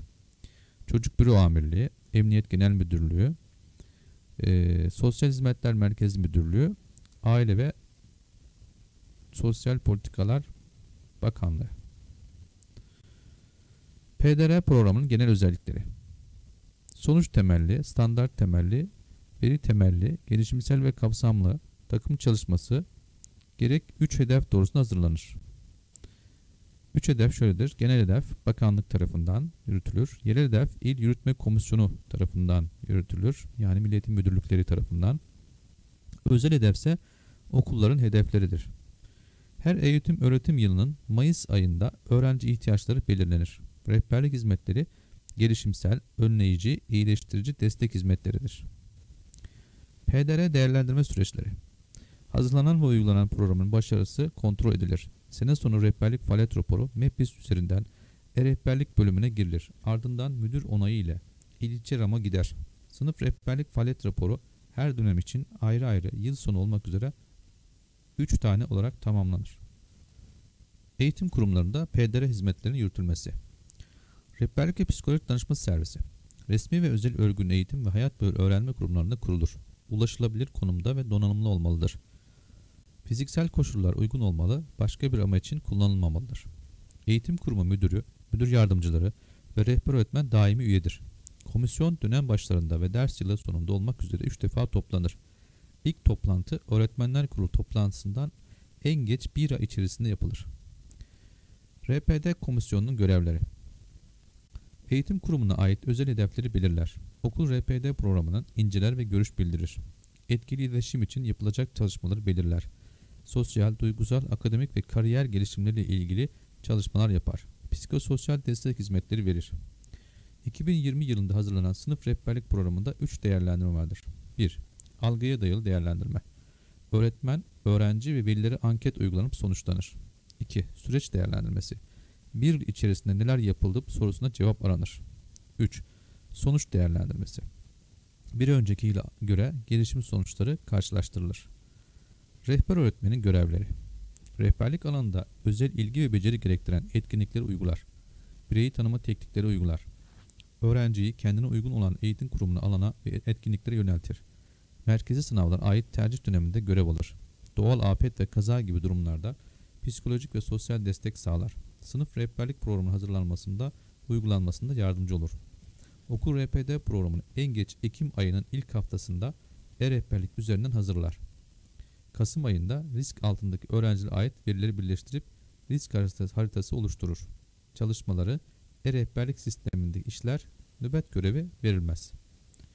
Rama öğrenci yönlendirme Yaşıtlarından farklılık gösteren öğrencilere belli bir süre gözlem yapıldıktan sonra gerek tedbirlere rağmen ilerleme kaydedemiyorsa velinin bilgisi dahilinde yönlendirme işlemleri yapılır. MEPBIS üzerinden e-rehberlik bölümü öğrenci yönlendirme, eğitsel değerlendirme olarak yönlendirilir. RPD hizmetleri İl Yürütme Komitesi İl Milli Eğitim Müdürlüklerinde oluşturulur. Yılda iki kez toplanır. Milli Eğitim Müdürü Başkanlığında Özel Eğitim ve Rehberlik Hizmetleri sorumlusu İl İlçe Şube Müdürü, RAM Müdürü, RAM'ın RPD Hizmetleri Bölüm Başkanı, okullarda müdür ve rehber öğretmenler. RPD Hizmetleri İl Yürütme Komisyonu tekrar edelim. İl Milli Eğitim Müdürlüklerinde oluşturulur. Yılda iki kez toplanır. Milli Eğitim Müdürü Başkanlığında Özel Eğitim Rehberlik Hizmetleri sorumlusu İl İlçe Şube Müdürü, RAM Müdürü, RAM'ın RPD Hizmetleri Bölüm Başkanı, okullardaki müdür ve rehber öğretmenler. Görevleri Haziran ayında toplantıda inceleme ve değerlendirme yapılır. Sonraki yıl için yerel hedefler belirlenir. Belirlenen hedeflerin Eylül ayı haftasında, Eylül ayı ilk haftasında e-rehberlik sisteminin işlenmesini sağlar. Yıl içinde hizmet içi eğitimlerin belirler ve teklifle ile gönderir. Okul müdürünün görevleri birinci derece sorumludur. Fiziksel ortam hazırlamakta zorundadır. Rehberlik öğretmeni, öğretmen, öğrenci ve veli arasındaki işbirliğini sağlar. Rehber öğretmenler arasındaki iş bölümünü yapar. Özel hedefleri e-rehberlik sistemine işler. Okul RPD programını en geç Ekim ayı ilk haftasında e-rehberlik sisteminden onaylayıp RAM'a ulaştırır. Sınıf rehberlik programını onaylar ve takip eder. Her yıl Kasım ayı içerisinde oluşturulan okul risk haritasını RAM'a ulaştırır. Sınıf rehber öğretmenin görevleri Sınıf rehberlik planını hazırlayıp en geç Ekim ayının ikinci haftasında müdürü onaylatır. Bir örneğini RPD servisine verir. Etkinlikleri uygular, işbirliği yapar, risk altındaki öğrencileri Kasım ayında belirler. Öğrencinin kendini tanıması için rehberlik servisiyle işbirliği yapar. Rehberlik faaliyetlerini dönem sonunda idareye sunar. Rehberlik öğretmeni yoksa çocuğu rama yönlendirir. Sınıf rehberlik planı Amacı Potansiyelin farkına varan, kendini tanıyan, öğrenmeyi öğrenen, yaşam boyu öğrenmeyi alışkanlık haline getiren iyi insan yetiştirmektir. Üç gelişim alanı vardır. Akademik, kariyer ve sosyal duygusal alan. Akademik 65, kariyer 62, sosyal ve duygusal 163 hedef olmak üzere toplam 290 hedef vardır. Sınıf rehberlik planının temel ilkeleri.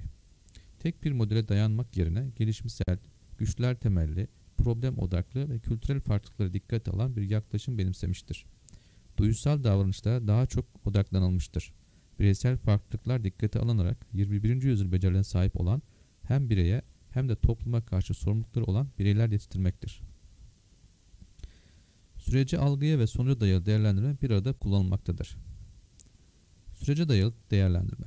Kim, nereden, nasıl, ne zaman, ne kadar sürede yapıldığına dair bilgi verir.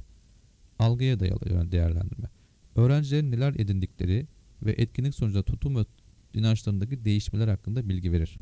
Sonuca dayalı. Tutum, beceri veya bilgileri kullanma yeteneklerini olumlu yönde etkileyip etkilemediğine ilişkin değerlendirmedir. Sınıf rehberlik programının uygulamasındaki ilişkin ilkeler. Bilimsellik ilkesi, farklılıkları temel alır, esnektir, öğrenci merkezlidir, işbirine dayalıdır. SRP uygulamasında dikkat edilmesi gerekenler. Sınıf rehberlik planı hazırlanırken okul öncesi eğitim almayan çocuklar da göz önünde alınarak planlama yapılır. Öğrenciler etkinlikler için teşvik edilmelidir. Kazanım sırası dikkate kazanım sırası akademik takvim dikkate alınarak hazırlanmalıdır. Öğretmenin öğrenciyi tanıma nedenleri. Ünite planını uygun şekilde hazırlamak, ilgi ve ihtiyaçlarına uygun yöntem teknikler seçmek, uygun ölçme ve değerlendirme etkinlikleri yapmak, her öğrenciden üst düzey verim almak, sağlıklı kişilik gelişimi olan kendini gerçekleştiren çevreye duyarlı bireyler yetiştirmek, problemleriyle başa çıkabilen, kendilerine uygun mesleği yönetmek ve bu mesleğe hazırlanmak, sınıf içi ilişkileri düzenlemek ve geliştirmek için tanıma nedenlerini yapar. Bireyin tanınması için gerekli özellikler. Sağlık durumu, ilgi ve yeteneklerine göre program hazırlanır. Akademik başarısı izlenir ve ona göre yönlendirme yapılır. Kişilik özellikleri, benlik tasarımı ve değerler bilinirse güdülenmesi daha kolay olur. Bireyi tanıma teknikleri ve uygulamalar. Sadece bir ölçme aracı bireyi tanımak için yeterli değildir. Öğrenciyi tüm yönleriyle tanımak mümkün değildir. Ama ne kadar çok veri olursa o kadar yararlı olunabilir. Tanıma tekniklerini aynı zamanda ve birlikte uygulamak daha iyi sonuçlar verir. Tüm öğrenciye yöneliktir ve süreklidir. Kullanılan teknikler geçerli, güvenirli, kullanışlı ve ekonomik olmalıdır. Test sonuçları açıklanırken uyulması gereken kurallar. Danışanın sonuçları duymak istemesinden emin olunmalı. Birden fazla test uygulanmış ise önce yetenek testlerinden başlayıp sonrasında ilgi testlerine açıklamak gerekir. Kişilik testlerini bireyin anlayacağı dilde açıklamalıdır. Rehberlik içinden kullan rehberlik için kullanılan testler. 1. Yetenek testleri. İlk akla gelen zeka testi olmalıdır. Geliştirilen ilk test zeka testleridir. 2. İlgi testleri. İlgilerini belirlemek amacıyla kullanılır ve birden fazla ilgi aynı anda ölçüldüğü için envanter olarak isimlendirilir. Ülkemizde en çok kullanılan ölçek KUDER ilgi alanı envanteridir.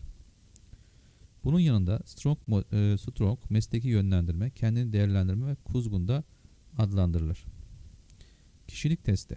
Kişiliğiyle ilgili bilgi toplamaya yarayan ölçeklerdir. 4. Tutum ölçekleri. Kişinin bir nesneye veya duruma göre duygusal, düşünsel ve davranışsal eğilimleri belirleyen testlerdir. En çok kullanılan Likert tipi testtir. 4, 5 veya 7 üzerinden cevaplanır. Test dışı teknikler 1. Gözleme dayalı Gözlem kayıt listesi, özellik kayıt listesi, anekdot kaydı, derecelendirme ölçeği 2. Kendini anlatma Otobiyografi, arzu listesi, zaman cetveli, program tarama listesi, soru listesi veya anket. 3. Başkalarının kanılarına dayalı. Sosyometri, kimdir bu? Sosyal testi. 4. Etkileşime dayalı. Görüşme, ev ziyareti, drama ve oyun. Ailelerle ilişkiler. Ailenin eğitim düzeyi çocuğun başarısı konusunda etkilidir. Aile eğitimleri oldukça önemlidir. Aileler bazen çocuğun özelliklerini anlatmak, anlat, atlamaktadır. Bu sorun giderilirse akademik başarı daha da artacaktır. Ailelerin katılımı iki türlü olmaktadır. 1. Okul merkezli. Konferans ve toplantılara katılma, etkinliklerde gönüllü olma, öğretmenlerle iletişim halinde olma, ödevler, gönüllü yardım etme gibi. 2. Ev merkezli. Evde beraber yapılacak etkinlikler ve ev ziyaretleri. İlkokulda ebeveyn katılımı. İlkokulda aile ile işbirliği çok önemlidir. Ortaokulda ebeveyn katılımı. Ortaokul öğrencileri özelliklerini ortaya koydukları ebeveyn ve aileden bağımsızlaşmaya çalıştıkları dönemdir. Çocuklar bu dönemde rehberliğe ihtiyaç duyarlar. Lisede ebeveyn katılımı. Bu dönemde mesleki rehberlik ve eğitsel planlama daha fazladır. Ebeveynlik tarzları. Demokratik anne baba. Bağımsız olmayı teşvik eder, yine de sınırlar koyup kontrol eder. Otoriter anne baba. Çocuklarını dinlemezler, soğuk ve katı olurlar, ceza ve emir verirler. İzin verici anne baba. Yakından ilgilenir ancak pek bir şey istemezler. Kural koymazlar, cezadan kaçınırlar. İhmalkar anne baba. Çocuklarının yaşamıyla son derece ilgisizdirler. Rehberlik, etik ve bilgilerin saklanması. Planlama ve yürütmede yetkinlik, dürüstlük, gizlilik, duyarlılık, bilimsellik esastır. Temel ilkeleri 1. Yetkinlik Psikoloji danışmanlarının sınırlıklarını bilmeleri demektir. 2. Dürüstlük. Dürüstlük, doğruluk ve gerçekçiliği ilk edinirler. 3. Duyarlılık ve hoşgörü. Danışanların zarar görmemeleri için çalışır, gerekli önlemler alıp tarafsızlığı benimserler. 4. Toplumsal sorumluluk.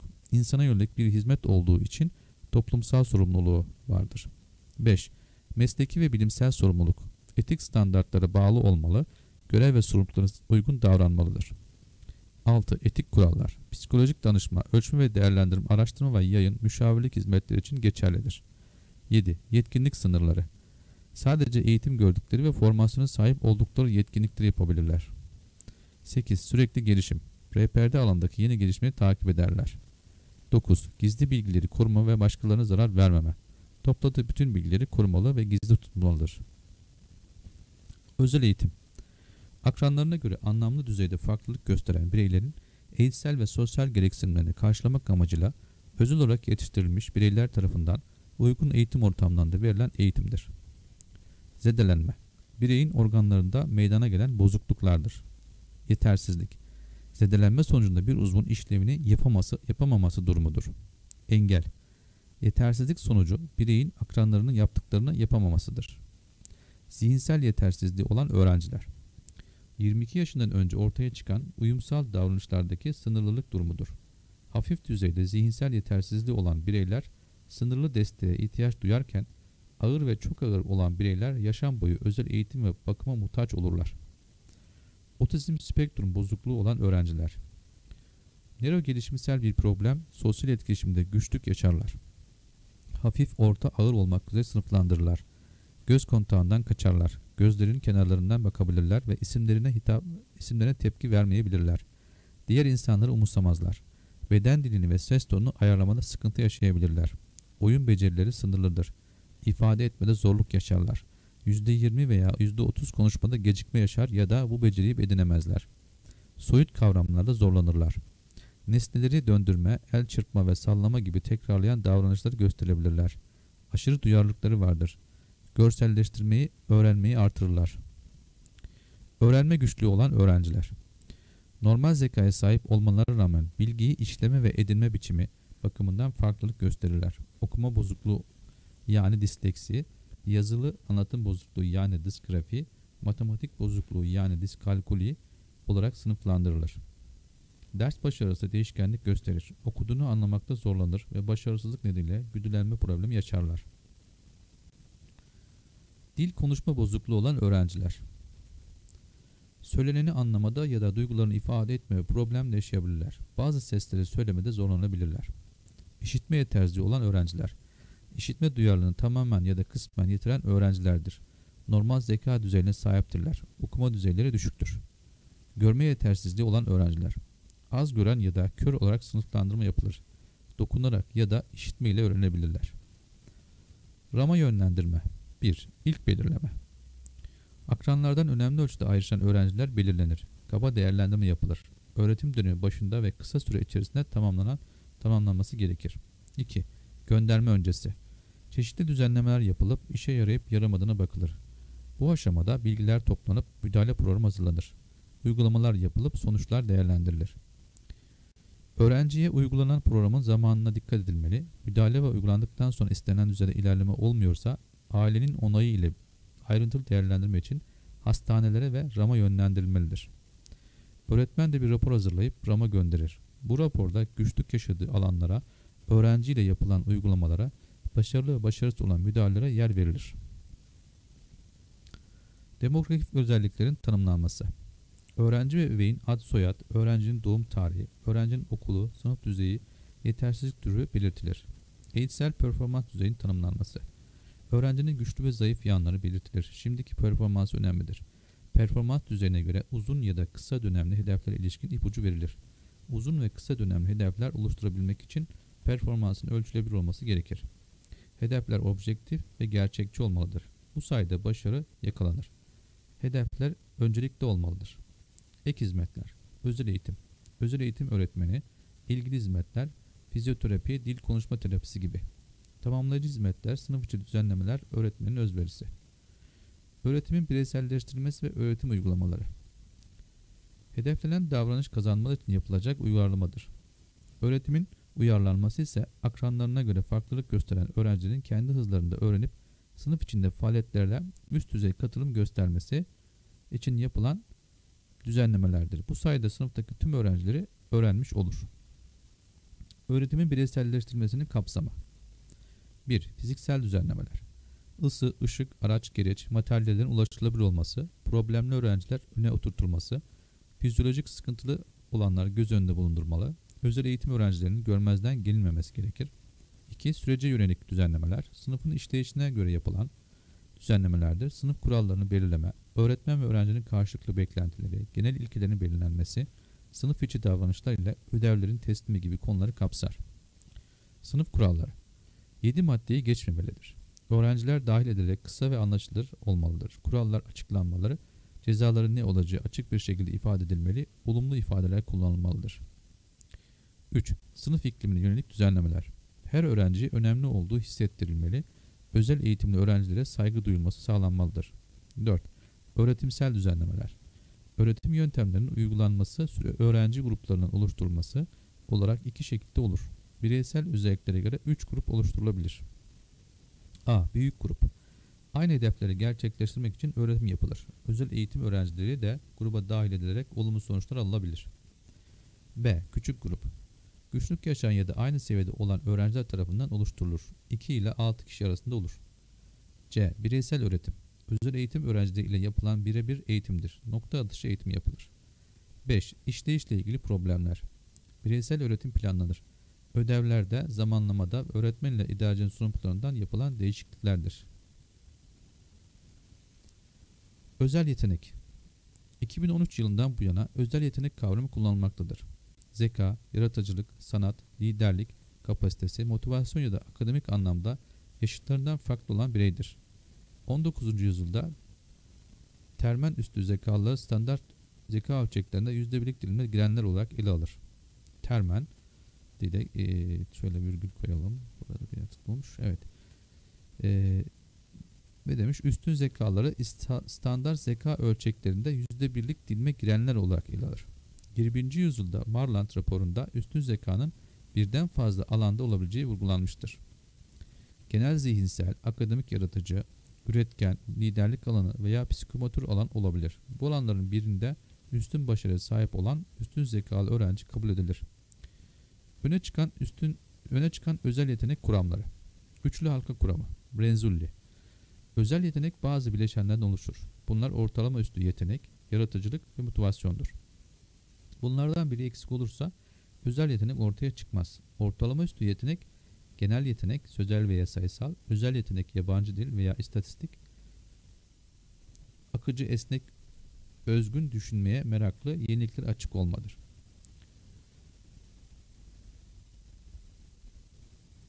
Beşgen kuramı. Özel yetenekli olmak için 5 ölçüt vardır. Mükemmellik, nadirlik, kanıt, üretkenlik, değer. Şöyle özel şey kodlanabilir. Mükemmel Nadir Bey değerli kanıtlar üretti. Bulanık kuram. Özel yeteneğin oluşumu için çevre ile etkileşimi şart koşar. Ayrımsal üstün zeka ve üstün yetenek. Gange. Üstün zeka ve üstün yetenek ayrı ayrı tanımlanır. Üstün zeka doğuştan var olan mental ve fiziksel alanlara ait yetenektir. Mental ve fiziksel alanlarda görülen becerilerdir. Üstün yetenek ise üstün zekanın işlenmesiyle dönüşmüş halidir. Bu süreçte iki katalizör vardır. İçsel katalizörler, motivasyonel değişkenleri kişilik özelliklerini ifade eder. Çevresel kategoriler, katalizör, uygun eğitim olanları, aile, sosyal yapı, sosyal ekonomik durumu ve benzeri. Özel yeteneklerin özellikleri Erken ve ileri düzeyde dil gelişimi, erken okuma hassas olma, liderlik, meraklı olma, mizah yeteneği, sosyal ve toplumsal olaylara karşı duyarlı olma, geniş hayal gücü, yaratıcılık, geniş, geniş ilgi alanına sahip olan olma gibi yetenekler, özellikler vardır. Özel yetenekler grubunun içinde farklı olan ikinci grup da vardır. Bu bireylere iki kere özeller denir. Savantlar, zihinsel sınırlarla beraber en az bir alanda normal üstü yeteneğe sahiptirler. William sendromu olanlar ise oldukça sosyaldirler. Özel öğrenme güçlü olan özel yetenekler iki türe özel bireydir. İki kere özel bireydir. Özel öğrenme güçlüğü olan özel yetenekler de iki kere özellerdir diyor. Özel yeteneklerin eğitimine okula erken başlama, sınıf atlama, üstten ders alma, sınavla ders geçme gibi hızlandırma etkinlikleri yapılabilir. Zenginleştirme, gruplama yapılabilir. Özel yetenekli öğrencilerin eğitiminde ilk akla gelen kurum fen lisesidir. Okul aracı ilk kurum ise 1992 yılında kurulan Bilsemler'dir. ÜYEP en aktif olanıdır. 2007'de Anadolu Üniversitesi'nde bir birim özel olarak hizmeti açlamış, 2014 yılında merkez haline almıştır. Özel yetenekli öğrencilerin öğretmenleri etkili sınıf oluşturma, nitelikli sorular sorma, yüksek düzey düşünme seviyesi artırma, yaratıcılığı cesaretlendirmelidir. Ödevlerde tekrar ve alıştırmalara ağırlık vermemelidir. Milli Eğitim Bakanlığı uzman öğretmenlik sınavı hızlandırılmış kısa özet. Dördüncü bölüm araştırma ve ARGE çalışmaları. Bilimsel yöntemin aşamaları. 1. Problemin fark edilmesi. 2. Problemin tanımlanması. 3. Çözüm önerilerinin tahmini. 4. Araştırma yönteminin geliştirilmesi. 5. Verilerin toplanması ve analizi. 6. Karar verme ve yorumlama. Araştırılabilir iyi bir problemin soruların özellikleri. Akla yatkın olmalıdır. Çok fazla zaman ve para enerji harcamamalıdır. Anlamlı, açılık, anlaşılır, sınanabilir ve ölçülebilir olmalıdır. Çok geniş ve çok dar kapsamlı olmamalı, orijinal ve özgün olmalı, etik olmalıdır. Araştırma fikrinin kaynakları Günlük yaşam, uygulama, geçmiş araştırmalar ve kuramlar. Alan yazın taraması. Araştırma problemini sınırlandırma yardımcı olur. Önemi belirlemeye, yöntemin geliştirilmesine, sonuçların yorumlanmasına katkı sağlar. Alan yazın taraması sürecinde temel amaç olabildiğince birincil kaynaklara ulaşmaktır. Birincil kaynaklar, araştırmalar, raporları, tezler, özgün kitaplardır. İkincil kaynaklar, ansiklopediler ve kitaplardır. Değişkenler Nicel değişken Değişken özelliği sayı ve miktar olarak açıklanır. Nitel değişken Sayısal olarak ifade edilmez. Süreksiz değişken Ara değerler olmaz, tam sayıdır, kardeş sayısı gibi. Sürekli değişken İki değer arasında sonsuz küçüklükte ölçülebilen değişken, değişken buçuklu olabilir. Bunların haricinde bağımlı ve bağımsız değişken de vardır. Sebep sonuç cümleleri gibi. Sebep bağımsız değişken, sonuç bağımlı değişkendir. Hipotez, araştırmada test edilmek üzere oluşturulan ifadedir. Sıfır hipotez, farkın veya korelasyonun olmadığına yöneliktir. Alternatif hipotez, farkın veya korelasyonun olduğuna yöneliktir. Yönlü hipotez, ilişkinin yönü bellidir. Yönsüz hipotez, ilişkinin yönü belli değildir. Bağımsız değişkenler dört başlıkta sınıflandırılır. Değiştirilebilen, araştırmacının müdahale ettiği değişkendir. Seçilmiş, araştırmacının müdahale etmediği ortamda var olan değişkendir.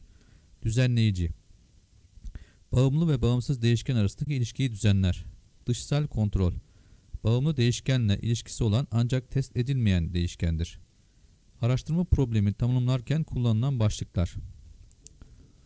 Giriş bilgisi. Temel değişken hakkında bilgi verir, problemin önemi anlatılır. Gelişme. Kuramsal çerçevesi ve ilgili araştırmalar özetlenir. Araştırmanın sonuçları sunulur ve önemli görülen araştırmalar detaylandırılır. Bilgileri özetlemek. Sınırlandırılan konuya ilişkin çalışmalar özetlenir. Problem durumuna işaret etme. Cevap aranan problem tanımlanır. Neyin araştırılacağı açıklanır ve problem cümlesi oluşturulur. Araştırma fikrinin kaynakları Günlük yaşam, uygulama, geçmiş araştırmalar ve kuramlardır. Yaratıcı problem çözme ve etkili arama stratejileri GetCells problem bulmayı 10 düzeyde tanımlar. İlk basamağa çözümü belli bir problemi verilip çözümün istenmesi, en üst basamağa henüz çözümü belli olmayan problem yaratılıp çözümün beklenmesi. Problem bulma, beklenen ile sonuç arasındaki çelişkidir. Osborne, beyin fırtınasını ilk bulan kişidir. Yaratıcı düşünme, Torrance, orijinal, esnek ve ayrıntılı olmalıdır. Yaratıcı problem bulma stratejileri Temel ihtiyaçların araştırılması, sınırları olan bir problem olan tanımlamak, probleme kasıtlı olarak farklı bakış açıları uygulamak, sorgulamayı genişletmek.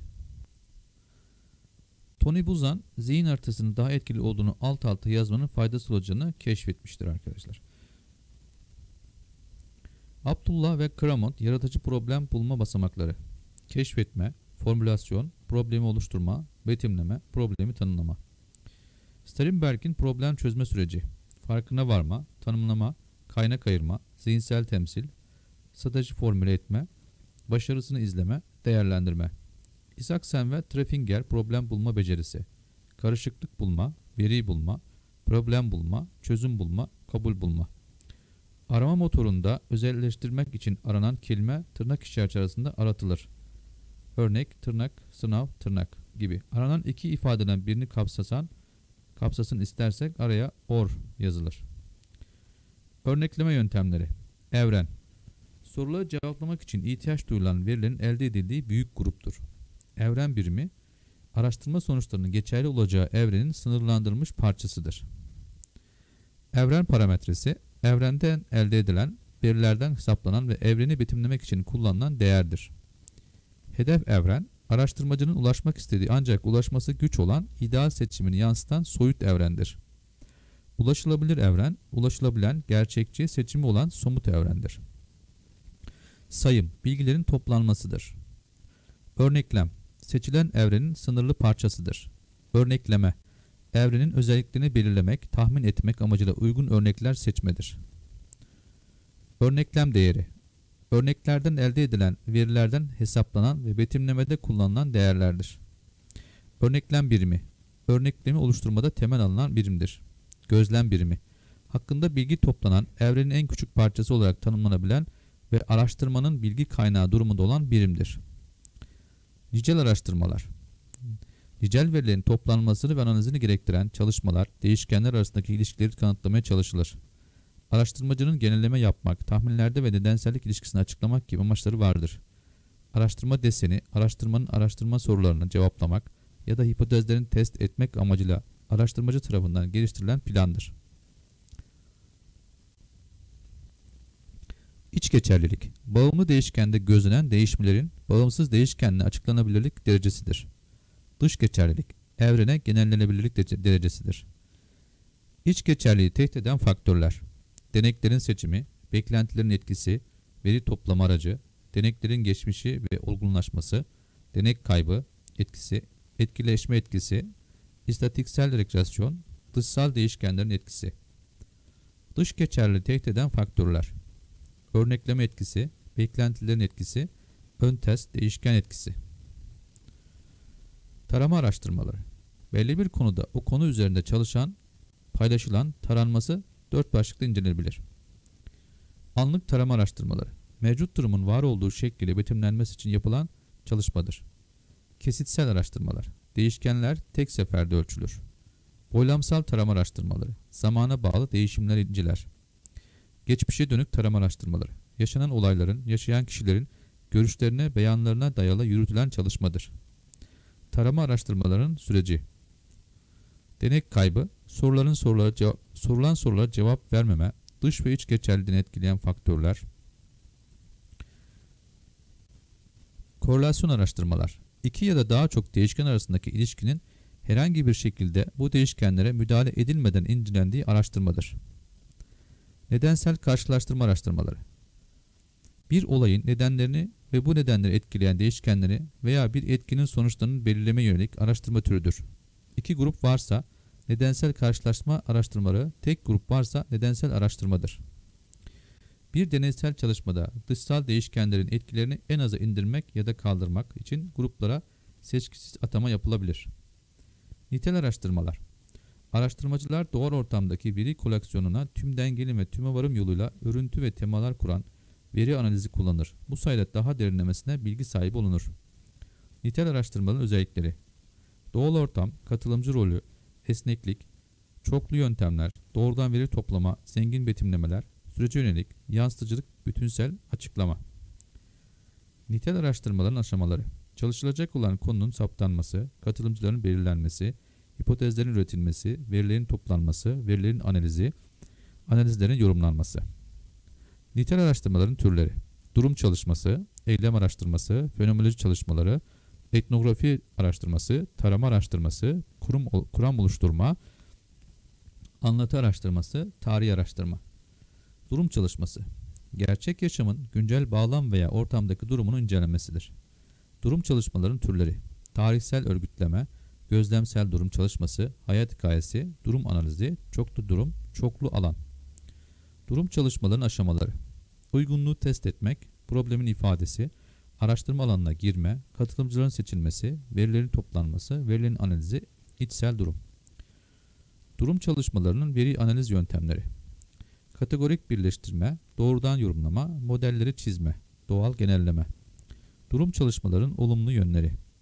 Yaşamın bir kesitiyle ilgili doğrudan ve derinlemesine bilgi sağlar. Okuyucunun kendi bulunduğu durumla verilen durumu karşılaştırır. Alışık olunmayan durumları ayrıntılı inceler. Araştırmacı önceden bilinen soru ve veri toplama yöntemlerini güncelleyebilir. Durum çalışmalarının olumsuz yanları. Sonuçların engellenebilirliği düşüktür. Kurum veya kişilerin kimliklerini gizlemek zordur. Raporlaştırmada dil becerisi önemlidir. Durum içinde kaç durum olduğunu belirlemek zordur. Eylem araştırması Araştırma yönteminden çok mesleki gelişim modelidir. Kendi mesleği hakkında araştırma yapma çalışmalarıdır. Eylem araştırmasının aşamaları Plan, eylem, veri toplama, yansıtma Eylem araştırmaları iki bölümde ele alınabilir. 1. Uygulamalı eylem araştırmaları Yerel uygulamalar üzerine çalışılır. Bireysel temelli araştırma içerir. Öğretmenin gelişimiyle öğrencinin öğrenmesine odaklıdır. Bir eylem planını yürürlüğe koyar. 2. Katılımlı eylem araştırması Sosyal meseleleri inceler, eşitlikçi işbirliğini vurgular, yaşam kalitesini yükseltecek değişimlere odaklı araştırmacının özgürleştirmesiyle sonuçlanır. Fenomenolojik araştırmalar Görüngü bilim olarak adlandırılır. Duygularla algılanan her şey fenomendir. Bireysel deneyimleri evrensel nitelikte açıklar. Yaşam dünyaları kişiye özel olmakla birlikte aynı duygu ve durumun benzer koşullarda ortaya çıkması söz konusudur. Fenomenoloji felsefeye üç farklı bakış açısı ile yaklaşmak mümkündür. Felsefi bir akım, felsefenin temeli, nitel araştırma yöntemi. Fenomenolojik araştırmaların amacı, aşamaları. Sezilme ve algılanma, odaklanma, betimleme. Etnografi araştırmaları, insanların dünyalarını belgelendirmesidir. Etnografyacının amacı yapılandırılmamış görüşmelerle hayatın özel bir yönünün belgelenmesidir. Şu sorulara odaklanır. Toplumun üyeleri arasında iletişim nasıldır ve hangi alan, anlamlar yaratılmaktadır? 2. Kültürel bilginin yapısı nedir? Dil, kültür ve düşünce arasındaki ilişki nasıldır? Etnografi araştırmanın özelliklerini Aynı kültürü paylaşan bir grubun kültürünün karmaşık ve eksiksiz betimlenmesine odaklanır. Veri analizi için anahtar kelimeler araştırma, emik, araştırma konusunun kendi bağlamında değerlendirilmesi, kültürel yorum ve etiktir.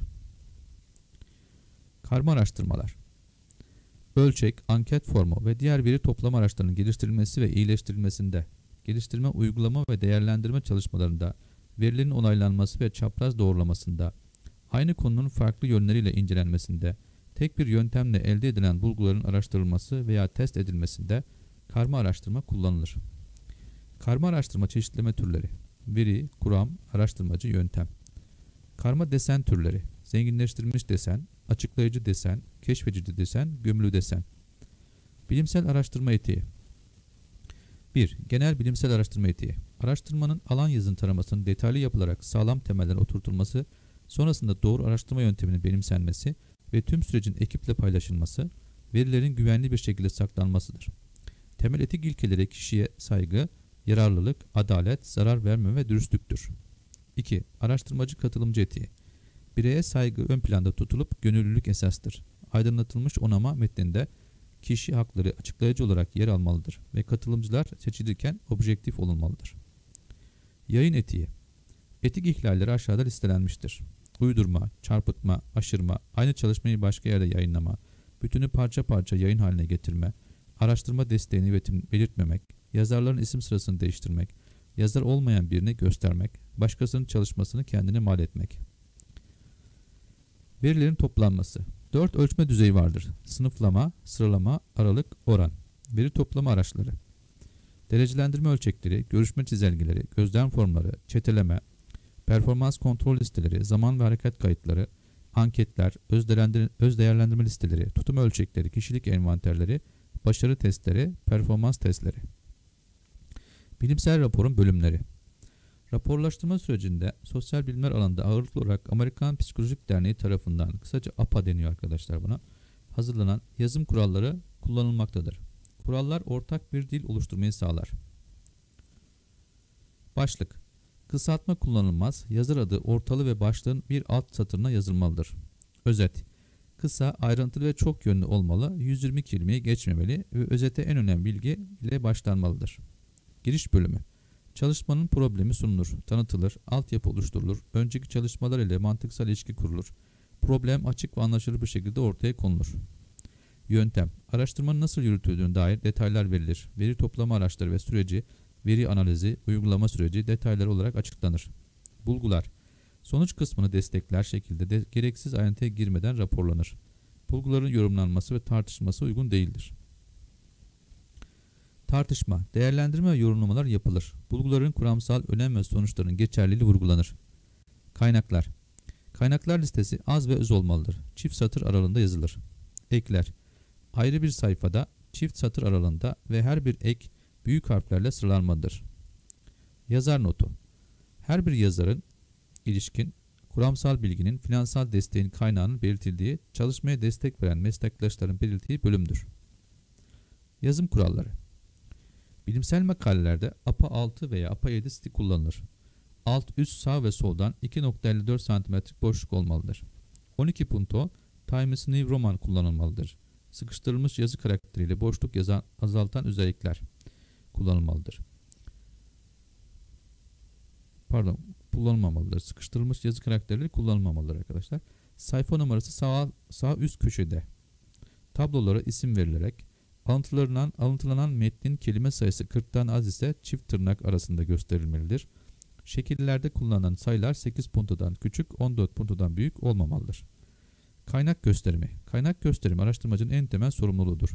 Doğru ve eksiksiz olmalıdır. İlk yazarın soyadına göre alfabetik sıraya konulur. Girişimcilik ve yenilikçilik.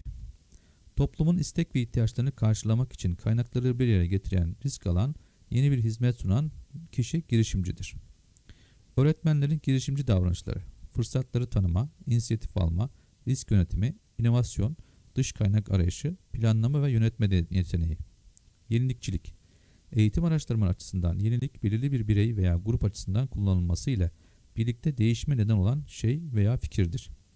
Okulun yenilik politikası çalışanların ilişkilerini bozma ihtimali varsa yeniliğin benimsenmesi zorlaştırılır. Rogers'a göre yeniliğin kabulünde farklı bakış açıları. Yenilikçiler, çabuk benimseyenler, erken çoğunluk, geç çoğunluk, yavaş ilerleyenler. Yeniliğin kabul edilmesi için 1. Karmaşıklık düzeyinin mevcut bilgi ve becerilerle uyumlu olması. 2. Benimsenmeden önce deneme imkanı olması. 3. Sonuçlarının başkalarınca gözlemlenebilir olması beklenir. Yeniliğin sınıflandırılması. Ürün, süreç, hizmet, pazarlama, organizasyonel yenilik, teknolojik olan ve olmayan yenilik, yüksek, orta, düşük düzeyde yenilik, ürün, süreç, mesleki yöntem olarak yenilik. Proje yönetimi. Özgün bir ürün, hizmet veya sonucu yaratmak için yürütülen geçici bir girişimdir. İhtiyaçları karşılayacak mal ve hizmetlerin üretimini sağlayacak yeni bir yeni birimlerin oluşturulması amacıyla kaynakların belli bir sistematik çerçevesinde harcanmasıdır. Projenin özellikleri Geçici Tanımlanmış bir başlangıç ve bitişi vardır. Girişim Faaliyetlerin yürütülmesi için insan gücüne kaynağı ihtiyaç vardır. Özgün ürün Elde edilen değer bir kere yaratılır. Rutin yapılan işlerden farklı olmalıdır. Yeni ya da ek üretim kapasitesi yaratır. Proje yönteminin faydaları Amaç ve hedeflere ne zaman nasıl ulaşacağını gösterir. Sürekli raporlama ihtiyacı minimuma iner. Zaman ve maliyet önceden belirlenir. Gerekli kaynaklar ortaya çıkar. Kontrol sisteminin kurulmasını sağlar. Ekip üyelerinin proje konusunda gelişmesini sağlar. Proje yönteminin sürecinde bilgi bu sahaları. Temel bilgi sahaları. Kapsam yönetimi, zaman yönetimi, maliyet ve risk yönetimi, iletişim ve uyum yönetimi. Destekleyici bilgi sahaları. İnsan kaynakları yönetimi, kalite yönetimi, tedarik yönetimi, başlangıç, planlama, uygulama, kontrol ve kapanıştır. Başlangıç Ön elemenin yapıldığı kısımdır. Projenin başlıca çıktılarını kapsayan açıklamaların olduğu bir rapor hazırlanır. Planlama Her türlü planlama ayrıntılı ile birlikte yapılır. Fikir detaylandırılır. Yapılması gereken tüm faaliyetler, zamanlama, bütçelendirme, kaynakların belirlenmesi bu aşamada yapılır. Zaman en önemli kısıtlamadır. Zaman, maliyet ve kapsam kısıtlamalarını dengelemek gerekir. Planlama yapıldıktan sonra raporlama yapılması gerekir. Uygulama Ekip elemanları sürekli iletişim halinde olmalıdır. Tüm elemanlar görevlerini yerine getirir. Kontrol Proje kapsamında ilerleme, değişiklikleri izleme, ölçüm yöntemleriyle düzenli olarak denetlenir. Havalara müdahale edip bütçeyi aşmamak gerekir. Zamanda sapmalar olmamalı. Havalı değil, harcamalar arkadaşlar burada harcamalara müdahale edip bütçeyi aşmamak gerekir. Planlama ve uygulama arasında uyum izlenir. Kapanış Sözleşme ve idari kapsamdaki tüm işlemlerin sonuçlanmasını ifade eder. Deneyim dokümante edilir. Proje için ayrılan tüm kaynaklar serbest bırakılır. Ürün hizmet devredilir. Çevrim içi proje yönetim araçları Yurt içi ve yurt dışında kurulan kişilerle planlama, yürütme ve izleme için çevrim içi projelerden yararlanılır. Ekipteki bireylere kolay görev atanabilir. Projenin bütçesini harcama miktarına bağlı olarak raporlaştırıp inceleyebilir. Bu sayede projenin tüm aşamaları dijital ortamda saklanmış olur. Ayrı ayrı zamanlarda tartışma imkanı sağlar. TÜBİTAK destekleri TÜBİTAK projelerinde başvurmadan önce proje yürütücüsü, araştırmacı ve danışmanların özgeçmişleri ARBIS araştırmacı bilgi sistemi doğrultusunda otomatik oluşturulması beklenmektedir. ARBIS web tabanlı bir uygulamadır.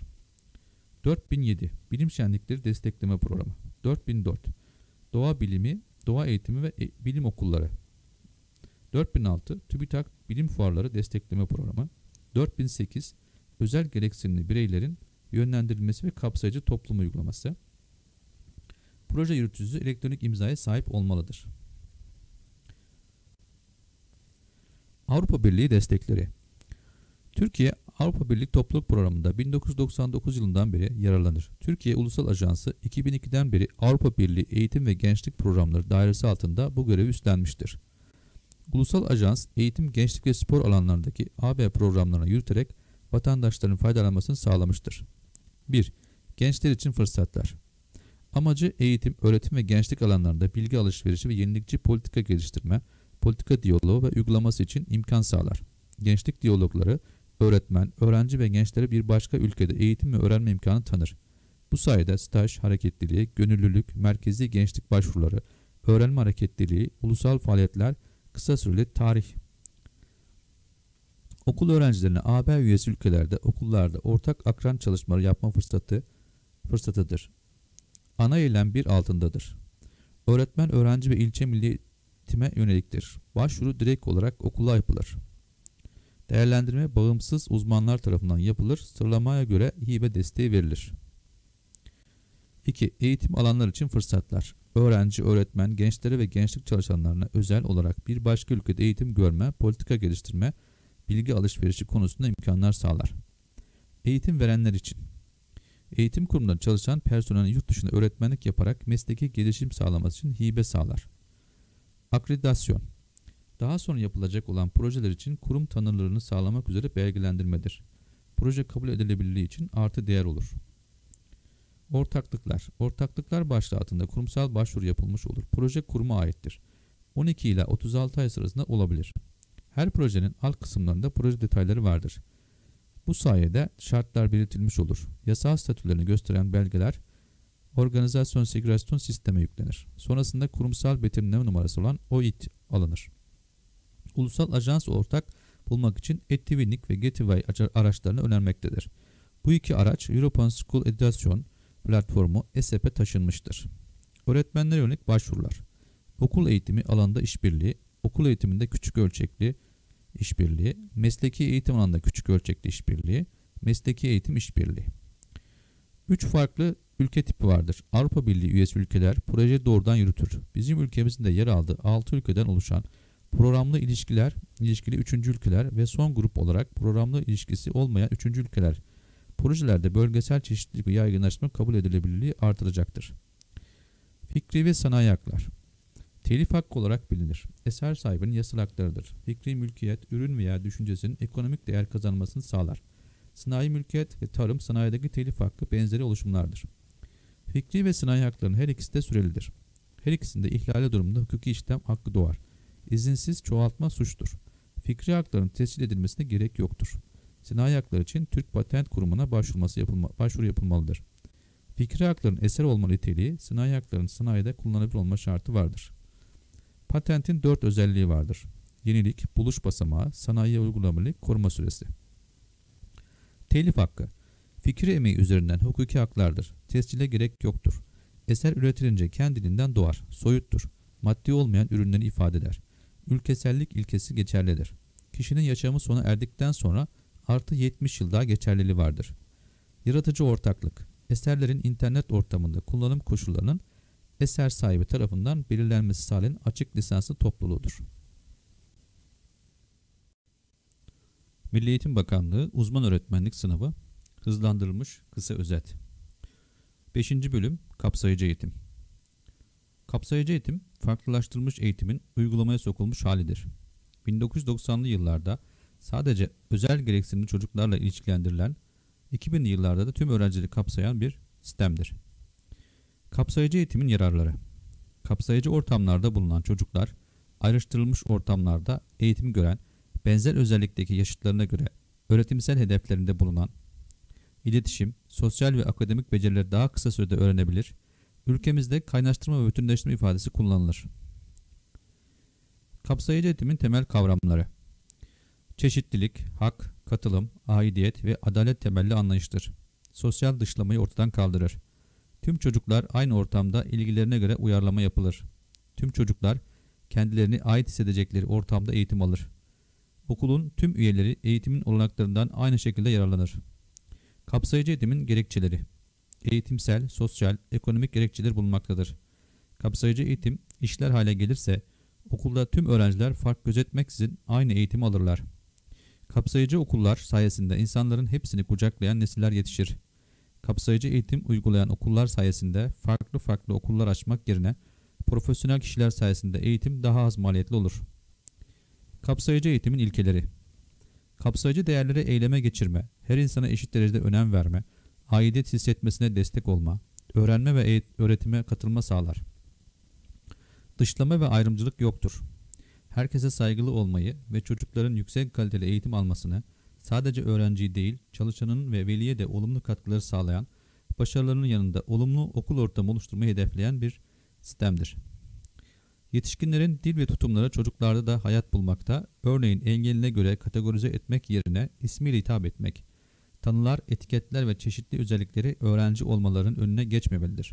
Gözlük kullanan ya da işitme cihazı kullanan çocuğa lakap takma gibi. Kapsayıcı eğitime yönelik uluslararası düzenlemeler. İnsan hakları temelli süreç. 1948 ve sonrası. Bildirgenin ikinci maddesinde herkes ırk, renk, cinsiyet, dil, din, siyasal veya başka nedenler ile ayrım gözetilmeksizin bütün hak ve özgürlüklerden yararlanılabilir. Hususu ifade edilerek kapsam belirtilmiştir. 26. maddede herkes eğitim hakkına sahiptir vurgusu yer alır. Ülkemizde 27 Mayıs 1949 tarihli Bakanlar Kurulu kararı ile resmi gazetede yayınlanmıştır. Özel gereksinimli çocuklara yönelik süreç 1990 ve sonrası 1990'lı yılın 90 yılında herkes için Eğitim Dünya Konferansı başlangıç aşamasıdır. 155 ülkeden temsillerin katıldığı en önemli küresel eğitim girişimidir. Herkes için eğitim anlayışıyla tüm çocuklar için yapılabilecek şeyler de ele alınmıştır. 1993 yılında engelliler için fırsat eşitliği ve standart kurallar belgesi atılacak adımlara bir rehber olmuştur. Engellilerin sosyal hayata tam entegrasyonuna dair kurallar bu belgede yer almıştır. 1994 yılında Salamanca Bildirgesi ve eylem çerçevesiyle kapsayıcı eğitim ilk kez gündeme gelmiştir. Dezavantajlı gruplara yönelik süreç 2000 ve sonrası 26-28 Nisan 2000 tarihleri arasında Senegal Dakar'da Dünya Eğitim Forumu'nda herkes için eğitim anlayışının hedefleri gözden geçirilmiştir. Kız çocukların eğitimi ve yetişkin okuryazarlığın artırılması özellikle vurgulanmıştır. Avrupa Komisyonu tarafından 2000 yılında Engelsiz Avrupa Tebliği'nde özel gereksinimli bireyleri engelleyen her türlü engellerin ortadan kaldırılmasına yönelik strateji ortaya konulmuş. Bu tebliğ Avrupa genelinde özel gereksinimli bireylerin meslek edinme eğitimi, bağımsız hareket edebilme, ulaş, ulaşımdan yararlanmalarına ilişkin bir çerçeve niteliği taşır. 2004 yılında ortaya konulan Avrupa Komisyonu engellilik eylem planında ise iş sahibi olma ve istihdam için 2010 yılına kadar yapılması önerilenler ele alınmıştır. Eğitim sisteminin dönüşümü 2005 ve sonrası 1900'lü yılların ilk yarısından insan hakları temelli başlayan süreç zaman içerisinde dönüşüme uğrayıp 2000'li yıllarda kapsayıcılık kavramını almıştır. Avrupa Birliği ve Birleşmiş Milletler sayesinde herkes için eğitim anlayışı hakim olmuştur. Birleşmiş Milletler Engelli Hakları Sözleşmesi 24. maddesi kapsayıcı eğitim hakkını dile getiren ilk uluslararası insan hakları belgesidir. UNICEF tarafından hazırlanan eğitim strateji belgesinde her çocuk öğrenebilir ve öğrenme hakkı vardır ilkesi yer almaktadır. Kapsayıcı eğitimin yaklaşımın tarihsel gelişimi 1982 Anayasası'nda eşitlik ilkesi vurgulanmaktadır. 42. maddede kimse eğitim ve öğretim hakkından yoksun bırakılamaz cümlesiyle eğitim hakkı yasal güvence altına alınmıştır. 1983 yılında çıkartılan 2916 sayılı Özel Eğitime Muhtaç Çocuklar Yasası özel eğitim konusunda ilk yasadır. 1997 yılında bu yasa 573 sayılı kanun hükmünde kararname kaldırıp kaynaştırma ifadesine yer verilmiştir. Kapsayıcı eğitimin bileşenleri 1. Erişim Fiziksel engellerin ortadan kaldırılarak çeşitli etkinlik ve ortamların oluşturulmasıyla gelişim ve öğrenme süreçlerine yönelik uyarlama yapılmasıdır. Herkesin istediği her yere ve hizmete bağımsız olarak ulaşabilmesidir. 2. Katılım Oyun ve öğrenme ile her bir çocuk için aidiyet duygusunu teşvik etmeye yönelik çalışmalar sadece fiziksel olarak orada bulunma değil, oyunlara aktif katılımı sağlanmasıdır. 3. Destek Kapsayıcı eğitim gereksinimlerinin altyapısının oluşturulmasıdır. Okul personelinin mesleki gelişimi, organizasyon yapılarını kapsamaktadır. Kapsayıcı eğitim bileşenlerin önemi. Çocuğu merkeze alarak ona bireyselleştirilmiş destekler sunması, eğitim ortamında aidiyet ve sosyal ilişkilerin geliştirilmesi, öğretmenlerin mesleki gelişimlerinin desteklenmesi, sürecin izlenip değerlendirmesi, kapsayıcı eğitimde tüm personel öğrenciler hakkında bilgilendirilmeli ve bu tip öğrenciler tüm personel tarafından desteklenmeli. Kapsayıcı okul ve özellikleri Farklılıklara rağmen tüm öğrencinin başaracağına inanan ortak bir anlayış geliştirmiş, kişisel haklara ve eşitliğe değer veren okullardır. Farklılıklar zenginliktir anlayış hakimdir. İdareciler okul personeline liderlik etme öğretmenleri kapsayıcı eğitim destekleyecek uygulamalar konusunda cesaretlendirme destek olur. Kapsayıcı eğitimde bireysel farklılıklara önem verilir. Tüm paydaşların sorumluluk ve görev almalarını destekler. Personeli ve tüm öğrencilere saygılı ve adil yaklaşılır. İşbirliği ve demokratik ortam çok önemlidir. Kapsayıcı eğitimin ilkeleri Özelliklerine veya kişisel kusurlarına bakılmaksızın her öğrenci erişim izni verilir. Yaşam kalitesi öğrenme düzeyinde değil her alanda artırılmalıdır. Çocukların tüm gelişim alanları desteklenmelidir. Öğretmenler rehberlik ve destek rolündedir. Her çocuk özel ve yeteneklidir. Eleştirel düşünme ve teşvik edilip farklı fikirlere saygı ön planda olmalıdır. Kapsayıcı eğitim ortamında erişebilirlik artırma. Öğrenme ortamının çevresel düzenlemeleri yapılarak desteklenebilir. Çoklu sunum yolları, çoklu meşgul olma yolları, çoklu ifade etme yolları kullanılabilir. Etkinlikler basitten zora doğru olmalıdır. Düzenlemelerin etkisi sürekli kontrol edilmelidir. Kapsayıcı eğitim ortamlarında katılım sağlanması. Tüm öğrenciler sınıfa, sınıfın aktif bir üyesi olmalıdır. Çocuğun sevdiği oyuncuyu yanında bulundurmak istemesi gibi isteklere izin verilmelidir. Etkinlikler birleştirilerek çocuklara gö göre yapılmalıdır. Desteğe ihtiyaç duyan çocuklara akranları tarafından ya da yetişkinler tarafından destek verilmelidir. Geri bildirimler önemli bir yer tutar. Düzeltici geri bildirim. Anlık hatayı söylemeyle ilgilidir. Betimleyici geri bildirim. Olumlu olarak ifade edilen geri bildirimdir. Çaba geri bildirimleri gaza getirme ve çabaya dönük olumlu sözlerdir. Kapsayıcı eğitim ortamlarında öğrenme içeriklerine ilişkin düzenlemeler. Kats'a göre sınıfa sınıfta herkese öğretmenin imkansız olduğunu savunur. Her öğrenci aynı içeriği aynı şekilde öğrenemeyebilir. Öğrenme içeriğini uyarlama yolları. İçeriği öğrencinin seviyesine indirerek, usandırmadan, ödev vererek ve öğrenme sözleşmeliyle mini dersler ve desteklemede yer almaktadır. Öğrencinin seviyesi ilerledikçe destek kaldırılıp bağımsız devam etmesi sağlanır. Öğretmen ve öğrenci arasında öğrenme sözleşmesi yapılıp zamansal hedefler koyulur. Mini dersler ile de geri kalan öğrencilere destek verilebilir. Ailelerle sıkı ilişkiler kurulursa başarı daha da artabilir. Kapsayıcı eğitim ortamlarında öğrenme süreçlerine ilişkin düzenlemeler. Birlikte öğrenen çocuklar, birlikte yaşamayı, sorumluluk almayı, ortak çalışmayı, heyecanla istemeyi öğrenirler. Kapsayıcı değerlendirme. Kaynaştırma öğrencilerine BEP hazırlanarak başarıları buna göre değerlendirilir. Sınav soruları kazanımlara uygun hazırlanmalıdır. Öğrencilerin başarısını ölçmeden geçerlilik, güvenlilik ve kullanışlık özellikler açısından uygun ölçme aracı kullanılmalıdır. BEP'li öğrenci için sınıf tekrarı bir kereye mahsus veli isteği ile BEP geliştirme biriminin onayıyla yapılabilir. Kapsayıcı eğitim ve paydaşlar Eğitimin etkili olabilmesi için öğretmen, aile, yönetici ve sivil toplum kuruluşları birlikte hareket etmelidir. Paydaş olarak öğretmenler Eğitim programının etkililiği öğretmenin niteliğine bağlıdır. Her zaman yaptığımız şeyler olan toplantı, gezi bilgilendirme, seminerleri ve benzeri iletişim kuvvetlendirilebilir. Paydaş olarak aileler. Okul ile sürekli işbirliği yapan ailelerin çocuklarına daha az davranış bozukluğu gözlenmektedir. Ailelere sosyal hayat ile ilgili eğitimler de verilerek etkileşim sağlanmış olur. Seminerler, toplantılar, bilgilendirmeler ve rehberlik hizmetleri verilebilir. Paydaş olarak yöneticiler. Okulun başlamasıyla öğretmenin okula aidiyet duygusunun oluşmasına aynı zamanda velinin daha etkin katılımını sağlayacak faaliyetler yapılabilir. Veli, öğrenci ve öğretmen katılımı ile sene başı pikniği ve benzeri organizasyonlar yapılabilir.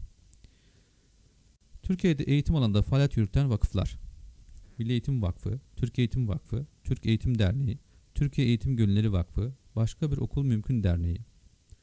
Türkiye Eğitim Derneği, Derneği TED 1928 yılında Atatürk'ün emriyle kurulmuştur. Türkiye Eğitim Gönülleri Vakfı 1995 yılında kurulmuştur. Ülke genelinde eğitim parkları, öğrenim birimleri, sosyal etkinlikler destek protokolü ile eğitime destek olmaktadır. Aile ve toplum katılımına yönelik pratik öneriler.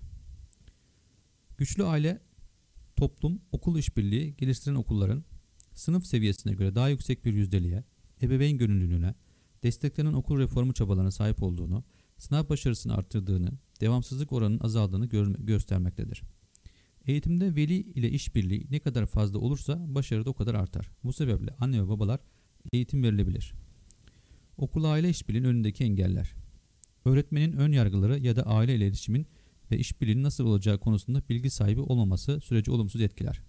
Bunun yanında bazı aileler pasif kalmayı tercih edebilir. Kısıtlı zaman ve ekonomik nedenler de işbirliğini olumsuz etkiler. Öğrenci velileriyle sadece problem olduğu zaman görüşmek de olumsuz etkiler.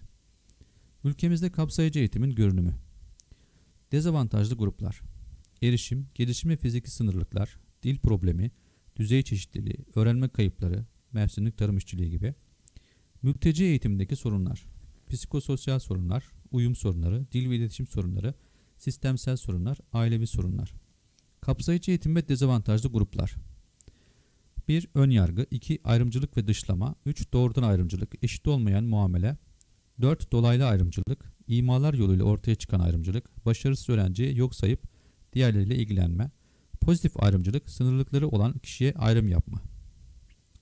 Ayrımcılık türleri Etnik köken ayrımcılığı, dini inanç ayrımcılığı, cinsiyet ayrımcılığı, sosyoekonomik durum ve engellilik. Milli Eğitim Bakanlığı Uzman Öğretmenlik Sınavı Hızlandırılmış Kısa Özet 6. Bölüm Atmosfer, Hava ve İklim Hava olaylarının büyük bir bölümü ile atmosfer oluşturan azot, oksijen, argon gibi gazlar ile su buharı, karbondioksit ve metan gazları troposferde bulunur. Aynı zamanda güneşin şiddetli ışınımını engelleyerek dünyayı korur. Hava olayları troposferde gerçekleşir. Yeryüzüne en yakın katmandır. Sırasıyla troposfer, stratosfer, mezosfer, termosfer, ionosfer ve eksosferdir. Kısa süreli olan hava olaylarına hava durumu, uzun süreli ve geniş bir bölgede oluşan hava olayına da iklim denir. Türkiye Akdeniz iklimi bölgesinde yer alır. İklim değişikliğine insani ve dış etkenler sebep olur. Türkiye iklim ve kurak bölgeler. Aridite Yeryüzünün herhangi bir yerinde egemen olan fiziki coğrafya denetçilerinin ve uzun süreli atmosfer dolaşım düzeneklerinin oluşturduğu sürekli yağış ve nem açığı koşulları ya da hidroklimatolojik kuraklıktır. Soruda hidroklimatolojik yazıyorsa ariditedir arkadaşlar. İpucu vermiş olalım. Kuraklık Doğal su varlığının belirli bir zaman içerisinde ve bölgesel ölçekte uzun süreli ortamların altında gerçekleşmesi sonucunda temel olarak şiddet, süre, coğrafi yayılış bileşenleriyle nitelendirilen üç boyutlu bir doğa olayı biçiminde etkili olan su açığı ve yetersizliğidir. Türkiye'nin bugünkü su iklimi ve potansiyeli Aridite indisine göre Türkiye'de çölleşme eğilimli yarı kurak kurakça yarı nemli araziler ülke topraklarının %30'u kadardır. Kullanılabilir su miktarı 112 km küptür. Kişi başına yıllık 1350 metreküp düşmektedir. İklimde meydana gelen değişikliklerin nedeni Blankoviç döngüleri, güneşten gelen enerji miktarına değişimler, okyanusal ve atmosferik süreçler, volkanik püskürmeler, insan kaynaklı sera gazlarının artışları. İklim değişikliğinin bilimsel raporunu hazırlamak için VMO ve IPBC'nin kurulmuştur. Sanayi devriminden bu yana yüzey sıcaklığı 1.2 derece artmıştır. Kuzey kutbunun yüzey sıcaklığı artış diğer yerlere göre 7 kat daha fazladır. Deniz seviyesinin yükseliş oranı ise son 20 yılda 2 katına çıkmıştır. Küresel iklim Atmosfer, hidrosfer, klorosfer, litosfer ve biyosfer olarak adlandırılan 5 bileşeni bulunan sisteme küresel iklim denir. İklim sistemindeki içsel interaktif bileşenler Atmosfer, okyanuslar, deniz buzu, kara yüzey ve özellikleri, kara örtüsü, karasal buzul, hidroloji. İklim sistemi, sistemindeki dışsal bileşenler, bileşenler. Güneş ve enerjisi, yer kürenin eksene çevresindeki dönüşü, havza şekilleri, dünyanın yörüngesi, kara ve deniz dağılışı, güneş yer geometrisi, karaların fiziki ve coğrafi özellikleri, bu bileşenlerin hepsi ortalama iklimi belirler. Yerkürenin rotasyon, revolüsyon ve presesyon hareketleri vardır. Rotasyon, kendi eksen etrafında dönme hareketidir. Revolüsyon, güneş etrafında dönme hareketidir. Presesyon, rotasyon sırasında yalpalama hareketidir. Dünyada 3 ana iklim zorlama etmeni vardır. 1. Levha tektoniği. Etkisi milyonlarca yıl ve çok yavaş sürer. 2. Orbital zorlama. Dünya ekseninin eğilimindeki ve dünyanın güneş çevresindeki yörüngesinin şeklindeki yavaş değişikliklerin iklim üzerindeki etkisidir. 3. Güneş enerjisinin şiddetindeki değişimler. Atmosfer sisteminin enerji dengesindeki değişikliği ile ilgilidir. İnsan kaynaklı iklim değişikliklerinin sebepleri 1. Sera gazları 2. Arazi kullanımı 3. Arazi kullanımının değişikliği 4. Ormansızlaşma Doğal sera etkisi Atmosferdeki gazların güneşten gelen ışınları geri çevirip yeryüzünden gelen ışınları az geçirip tutunmamasına tutunmasını sağlama. Sera gazlarının artması nedeniyle yansıyan ışın tutunumu tutunumu da artıyor. Bu yüzden sıcaklıkta artış oluyor. Küresel ısınma Sera etkisinin artmasıyla yeryüzü ve atmosferin alt katmanlarındaki sıcaklık artışıdır. İnsan kaynaklı iklim değişiklikleri Ormanların azalmasıyla atmosferde karbon miktarı artmıştır. Bu da sıcaklığın yükselmesine sebep oluyor. Ormanlar karbonu toprağa çekiyor. Bunun yanında fosil yakıtlar da karbon miktarını artırıyor. Birleşmiş Milletler İklim Değişikliği Çerçeve Sözleşmesi Pardon, Çevre Sözleşmesi Bu sözleşmenin amacı atmosferdeki sera gazı birikimlerini insanın iklim sistemi üzerindeki tehlikeleri etkilerini önleyecek düzeyde durdurmayı başarmaktır. Türkiye 2003 yılında katılmıştır. Türkiye Kyoto protokolüne 2009'da katılmıştır. Türkiye 2021 yılında Paris Anlaşması'na taraf olmuştur. Kyoto protokolünde gelişmiş ve gelişmekte olan ülkelere ona göre hedefler verilmiştir. Ülkeler gönüllü olarak katılmaktadır. Glasgow konferansının sonuçları Glasgow İklim Paktı. İklim değişikliğinin neden olacağı ekonomik kayıpların etkisi özellikle yoksul toplumlarda daha ağır hissedilecektir. O yüzden bu oluşacak olan işsizliğe tedbir almak gerekli kararı alınmıştır. İklim değişikliği mücadele politikaları. Karbon salımlarının %25'inin elektrik ve ısı üretimi, %24'ünün tarım, ormancılık ve diğer arazi kullanımları, %21'i sanayi, %14'ü ulaştırma, %6'sı da binalarla salınmaktadır. Sera gazlarının salınımında en yoğun olan sektör ulaşım, enerji, binalar, sanayi, yerleşme, tarım ve ormancılıktır. Emisyon azaltımında öncelikle yenilenebilir enerji kaynaklarının kullanımı, enerji tasarrufunun artırılması, fosil yakıtların terk edilmesi gerekmektedir. İklim değişikliğinden etkilenebilirlik ve uyum. Maladaptasyon, iklimle ilgili olumsuz sonuçların riskinde artışa ulaşabilecek yanlış uyum eylemleridir. İnsan sistemlerinde uyum. Beklenen iklime ve etkilerine uyum süreci, doğal sistemlerde uyum, güncel iklime ve etkilerine uyarlanma süreci. İklim değişikliği ve enerji verimliliği. Atmosferdeki sera gaz salımlarının %77'si fosil yakıtların yanması sonucu ortaya çıkar. Enerji tüketiminde ortaya çıkan emisyonlar iklim değişikliğinin en büyük sebebidir. Enerjide dışa bağımlılıkta 36 Avrupa ülkesi arasında 9. sıradayız. Kullanılan enerjinin %71'ini ithal etmekteyiz. İklim değişikliği ve kentler Birleşmiş Milletler Sürdürülebilir Kalkınma amaçlarının 11.si olan sürdürülebilir şehirler ve topluluklar amacı şehirlerin ve insan yerleşimlerinin kapsayıcı, güvenli, dayanıklı, sürdürülebilir kalkınmasına işaret eder. Kentlerde iklim değişikliği eylem planı için yapılacaklar. 1. Doğa temelli çözümler ve yeşil altyapılar. 2. Su yönetimi. 3. E, yeşil enerji dönüşümünün gerçekleştirilmesi. 4. Sıfır atık uygulamalarının artırılması. 5. Karbon ayak izinin azaltılması konusunda bilinçlendirilmesi. Yeşil çatıların faydaları. Kentin havasını soğutup afetsel etkiyi azaltırlar. Enerji ve sağlık bakımından maliyetleri azaltır. Yalıtımı artırdığı için binalarda ısı tutulmasını sağlar. Karbon ayak izini azaltıp kentsel selleri önler. Suyu süzer, gıda güvenliğini geliştirir, sosyal uyum ve savunuculuğu azaltırlar. İklim değişikliği koşullarında C3 ve C4 bitkilerin önemi. Karasal bitkilerin %95'i Calvin döngüsü adı verilen biyokimyasal kimyasal bir yolla karbonu sabitler. Calvin döngüsünün ilk adımı 3 karbon atomu içeren kararlı bir ara bileşik üretimi içerir. Bu işleme C3 fotosentezi ve bu şekilde olan bitkilerde C3 bitkileri denir. Bunlar buğday, pirinç, pamuk, şeker pancarı, patatestir. Bazı bitkiler ise 4 karbonlu bir bileşik üretirler. Bunlara da C4 bitkisi denir. Bunlar mısır, şeker kamışıdır.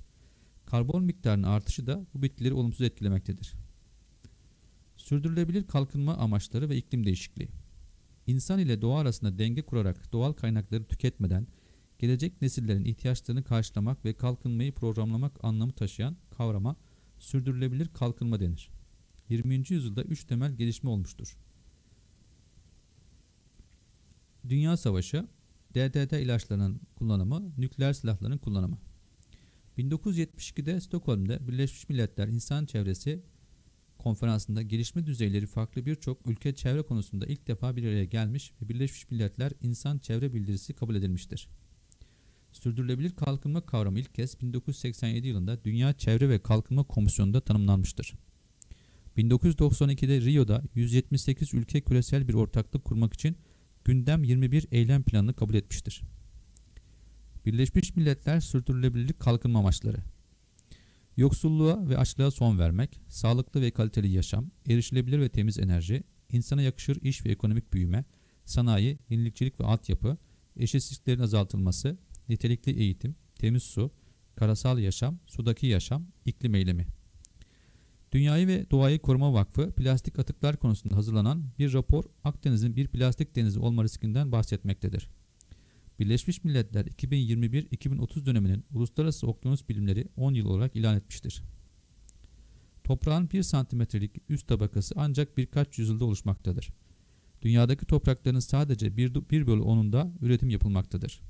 Karbon yutağı olan yerler, toprak, okyanuslar, ormanlar ve yeşil alanlardır.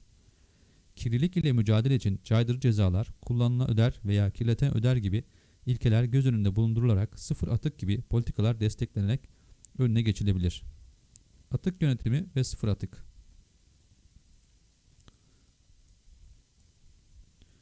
Dokuz kritik eşik yaşamın sürmesi için önemlidir. Bunlar biyo biyolojik çeşitlilik, iklim değişikliği, yeni kimyasal, ozon tabakasının incelmesi, atmosferik aerosol yükselmesi, arazi kullanımı, tatlı su kullanımı, denizlerin asitlenmesi, biyokimyasal döngü. Sıfır atık, israfın önlenmesi, kaynakların daha verimli kullanılması, atık oluşumunun engellenmesiyle tüm atıkların ayrı ayrı toplanması ve geri kazanılmasını sağlayan atık yönetim felsefesidir. Doğrusal ekonomi. Ham madde doğrudan temin edilir. Kullanılacak malzeme üretilir, kullanılır, sonra da hepsi tekrar atık olarak doğaya bırakılır.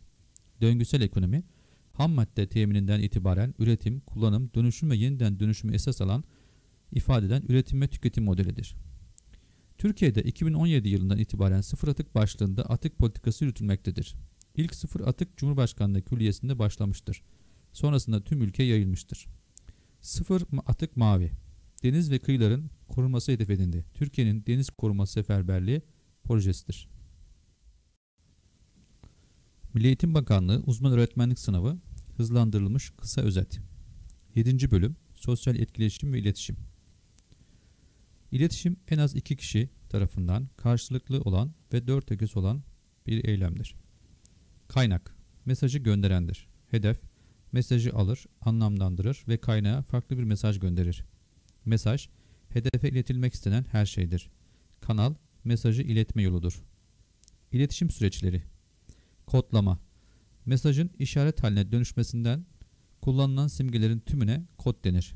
En çok kullanılan kod sistemi dildir. Kod açma ve yorumlama kaynaktan gelen mesajın anlamlandırılmasıdır. Geri bildirim mesajların doğru algılanıp algılanmadığını test etmektir. Gürültü, mesajın tam olarak anlaşılmamasını sağlayan her şeydir. İletişimin işlevleri, bireysel, toplumsal ve kültürel işlevleri vardır. İletişimin sınıflandırılması, etkilerine göre olumlu ve olumsuz, yönüne göre tek veya çift yönlü, kod sistemine göre yazılı, yazısız ve sözsüz, ilişki sistemine göre kişi içi, grup içi, kitle, kişiler arası. Bireylerin konumuna göre yatay ve dikey, zaman ve mekan boyutuna göre yüz yüze uzaktan. İletişimde etkinlik açısından yapılan karşılaştırmalarda sözsüz kodlar %55 oranla en etkin, sözel kodlar %7 ses tonunda %38 oranında etkili atmaktadır. Yazılı ve sözlü iletişim arasındaki farklar. Yazılı iletişimde yazı dili etkileyici olmalı. Çünkü jest ve mimik tonlama dahil edilememektedir. Yazılı iletişimde biçimsel ve noktalama kuralına uymak gerekir. Sözlü iletişimde iletişim kazalarının yaşanma ihtimali daha yüksektir. Johari penceresinin ne göre iletişim alanları. Açık alan. Kişinin hem kendisi hem de başkaları tarafından bilinen alanıdır. umutlarını, beklentilerini, korkularını çekinmeden diğer insanlarla paylaşmaktadır. Kör alan, başkaları tarafından bilinen ancak kişinin bilmediği alandır. Başkalarının kişiler hakkındaki izlenimleridir. Gizli alan, kişinin bilip başkalarının bilmediği alandır. Bilinmeyen alan, hem kişinin hem de başkalarının bilmediği alandır. Okul ortamında iki tip iletişim vardır. Formal iletişim, aşağı ve yukarı yönlü hiyerarşik aktarımdır. İnformal iletişim, okullarda daha sık görülen iletişim türüdür. İletişim becerileri Kişinin kendisine ve diğerlerine saygı duyması, empati, etkin dinleme, somutlaştırma, ben dilini kullanma, içten ve samimi olmayı kapsar. Empati becerisi 3 yaşından itibaren çocuklar diğer insanların farklı düşünceye sahip olduğunu bilirler. 6 yaşından itibaren kendisini karşısındakinin kişinin yerine koyabilir. 10 ve 12 yaşlarında ise tanımadığı kişiler için empati kurabilir. Oyun ve drama etkinlikleri empati kurma becerisini geliştirir. Etkin dinleme Dinleme farkında olarak veya olmayarak ortaya çıkan beceridir. Dinleme, beynin her iki tarafını kullanan bir faaliyettir. Sol beyin içerik ve olguları, sağ beyin ise duyguları, beden dilini, ses tonunu ve bütününü dinlediğimiz belirtir. İyi bir dinleyicinin özellikleri Dinlemenin amacını ve yöntemini belirler. Ön bilgileri harekete geçirir. Dinledikleriyle ön bilgiler arasında bağ kurar. Olay ve düşünce arasındaki farkı belirler. Ana ve yardımcı düşüncelerini belirler. Konuşmacının amacını belirler. Propaganda, abartı ve önyargıları belirler. Zihinsel yapısını düzenler. Konuşmayı, konuşmanın içeriğini değerlendirir. Dinleme alanları İşlem boyutu Hem fiziksel hem de zihinsel işlemler yapılır. A. İşitme Seslerin beynimize iletilmesi, ses, ses telleri, ses dalgaları ve kulak ile iletişim unsurlarıdır. B. Anlama Dikkat yoğunlaştırarak ilgi duyulan ve gerekli görülenleri seçerek anlamlandırmadır. C. Zihinde yapılandırma Seçilen bilgi ve düşüncelere sırlama, sınıflama, ilişki kurma, düzenleme, sorgulama, değerlendirme gibi işlemler yapmaktadır. Etkileşim boyutu Konuşmacı ile dinleyici arasında sözlü konuşmalar ve bilgi aktarımının gerçekleştiği ortamdır. Fiziksel etkileşim Fiziki olan şeylerle etkileşim, ses tonu, konuşma hızı, yüz ifadesi, göz teması ve dinleme ortamı gibi. Zihinsel etkileşim Dinleyicinin konuşmacının düşüncelerini öğrenmesi, anlaması ve kendi bilgileriyle karşılaştırmasıdır. 3. Sözlü anlama boyutu. Anlama işlemi hem süreçsel hem de etkileşimsel olarak gerçekleşmektedir. Etkileşimsel süreç Dinleyicinin özellikleri, konuşmacının aktardıkları ve iletişimin gerçekleştiği ortam etkili olmaktadır. Süreçsel anlama Dinleme sırasında çeşitli bilgilerin alınması, zihnimizde işlenmesi ve anlamlandırması işlemlerini kapsar. Dinleme türleri Takdir edici dinleme Söylenenden keyif almayı odaklanan dinlemedir. Kapsamlı dinleme Öğrenme ile öğrenme ve bilgiyi hatırlamaya odaklanan dinlemedir. Kritik değerlendirme dinleme Duyulanı yargılayan ya da değerlendirmeye odaklanan dinlemedir. Vurgulu dinleme Diğerlerinin duygularını anlamaya odaklanan dinlemedir. Katılımcı dinleme Dinleyen kişinin duyduklarını tekrar etmesi, yansıtmasıdır. Edilgin dinleme dinleyen kişinin sözel geri bildirimde bulunmadığı, bulunmadığı dinleme türüdür. Empatik dinleme. Kişinin kendisini açması, duygularını daha yoğun yaşaması, kendisinde var olan çatışmaları çözmesi, kendini kabul etmesi için cesaretlendirmektir. Yargısız ve eleştirel dinleme, açık bir zihinle anlamak için yapılan dinlemedir. Derinlemesine dinleme, yüzeydeki mesajları da önemsemeyi, konuşmacının sözlü ve sözsüz mesajlarına, bunlar arasındaki tutarla dikkat etmeyi, hem içerik hem de duygu mesajlarını anlamayı ve yanıt vermeyi içerir. Çözümleyici dinleme kişinin duygularını ve mesajlarını anlamaya çalışıldığını gösterir. Etkin dinleme mesajın sözel ve sözel olmayan yönüne, içeriğine ve duygularına anlam katma yöntemi olmalıdır. Dikkatle dinleme konuşmacının söylediklerini takip etmeyi gerektirir. Buluş, Aten ve Erten Sarıkkaya'ya göre etkili iletişim becerileri. Ego geliştirici değil benliği olumlu yönde etkileyen kişinin kendisini zayıf ve yetersiz görmesi neden olmadan olumlu geri bildirimlerle zayıf yönleri hissettirilerek tersi egoz edici dildir. Etkin katılımı dinleme, bireyin mesajının anlaşılmasına katkı sağlayarak yeterli motivasyondur. Sağlayacak yeterli motivasyondur. Etkin dinleme dinlenen kişi de önemsendiği duygusunu oluşturur. Kendini tanıma, kendini açma. Bireyin kendisine ilişkin farkındalığına kendi iradesiyle kendisini aşmasına işaret etmektir ben dili. Sen dili suçlayıcı yargılayıcı iken ben dili sadece kendinin duygularını ortaya koyar. Ben dili kullanılırken Yargılama, eleştirme, suçlama yapılmaz. Ben dili iletileri yorum içermez, hissedilen duyguyu açıklar. İletişimin önünde engel olan faktörler. Fiziksel ve teknik engeller. Mesaj, kanal, araçlar, gürültü ve dil ile ilgili engellerden oluşmaktadır. Sosyal ve psikolojik engeller. Kişilerin var olan düşünce, duygu ve değer yargılarından, davranış, tutum ve hedefleri, düşünce boyutları, dinleme ve anlama becerilerinden kaynaklanır. Örgütsel engeller. Roller, zaman baskısı, örgütün büyüklüğü, yönetim tarzı, statü farklılıkları örgütsel engeller neden olabilir. İletişimin önündeki engeller. Kişisel unsurlar. Alıcı ve vericinin dikkatsizliğinden kaynaklı yanlış anlama, yanlış yorumlama, ön yargılar ve konuşmacıya karşı ilgisizlik. Fiziksel unsurlar, dış kaynaklı olumsuzluklardır. Semantik unsurlar, kullanılan dilden kaynaklı yanlış anlaşılmadır. Zaman baskısı, iş yaşamında kısıtlı zaman yanlış anlaşılma neden olabilir. Algılamadık seçicilik, dinleyici ön yargılı ise vericiden gelecek olan iletileri algılayamayabilir veya farklı algılanabilir. Eğitim ortamındaki ekolojik sistem yaklaşımı Ekolojik yaklaşımın temel prensipleri Çocuk modelin merkezinde olup çevresiyle etkileşim halindedir. Bireyin yaşadığı olaylar üç temel kategori içerisinde yer alır. Mikro olaylar Her bireyin sahip olduğu yaşam deneyimlerini ifade eder. Madde bağımlılığı, depresif kişilik yapısı gibi. Mezzo olaylar, bireylerin sosyal çevre içerisinde diğer bireyler ve küçük gruplar ile kurdukları ilişki ve etkileşimler üzerinde odaklanır. Bireyin aile, arkadaş ve iş çevresiyle etkileşimini kapsar. Makro olaylar, uluslararası ve kültür arası etkileşimi kapsar. Mikrosistem, şu andaki ortam, ev, okul, iş ve benzeri. Mezosistem, komşuluk ve toplum. Egzosistem, doğrudan bireyi kapsamayan sosyal bir yapıdır. Kamu kurumları ve profesyonel kuruluşlar. Makrosistem, ekonomik ya da siyasi ideolojileri, baskın inançlar ya da basma kalıp düşünceleri kapsar. Etik kurallar, davranışlar ve alışkanlıkları içine alır. Kronosistem, önceki tüm katmanları kapsayan bu katman yaşanan zaman dilimini ifade eder. Savaş dönemlerinde suç davranışlarında artış olması yaşanılan zamandan gerçekleşen olayların tetikleyici olduğunu gösterir. Okul iklimi, ekolojik sistem yaklaşımı arasındaki ilişki. Okul iklimi Okulda çalışanların okulu nasıl betimlediği ile ilgilidir. Zamanla şekillenen kurallar bütünüdür. Üyelerin davranışlarını etkileyen ve bir okulu diğerinden ayırt eden iç özellikler bütünüdür.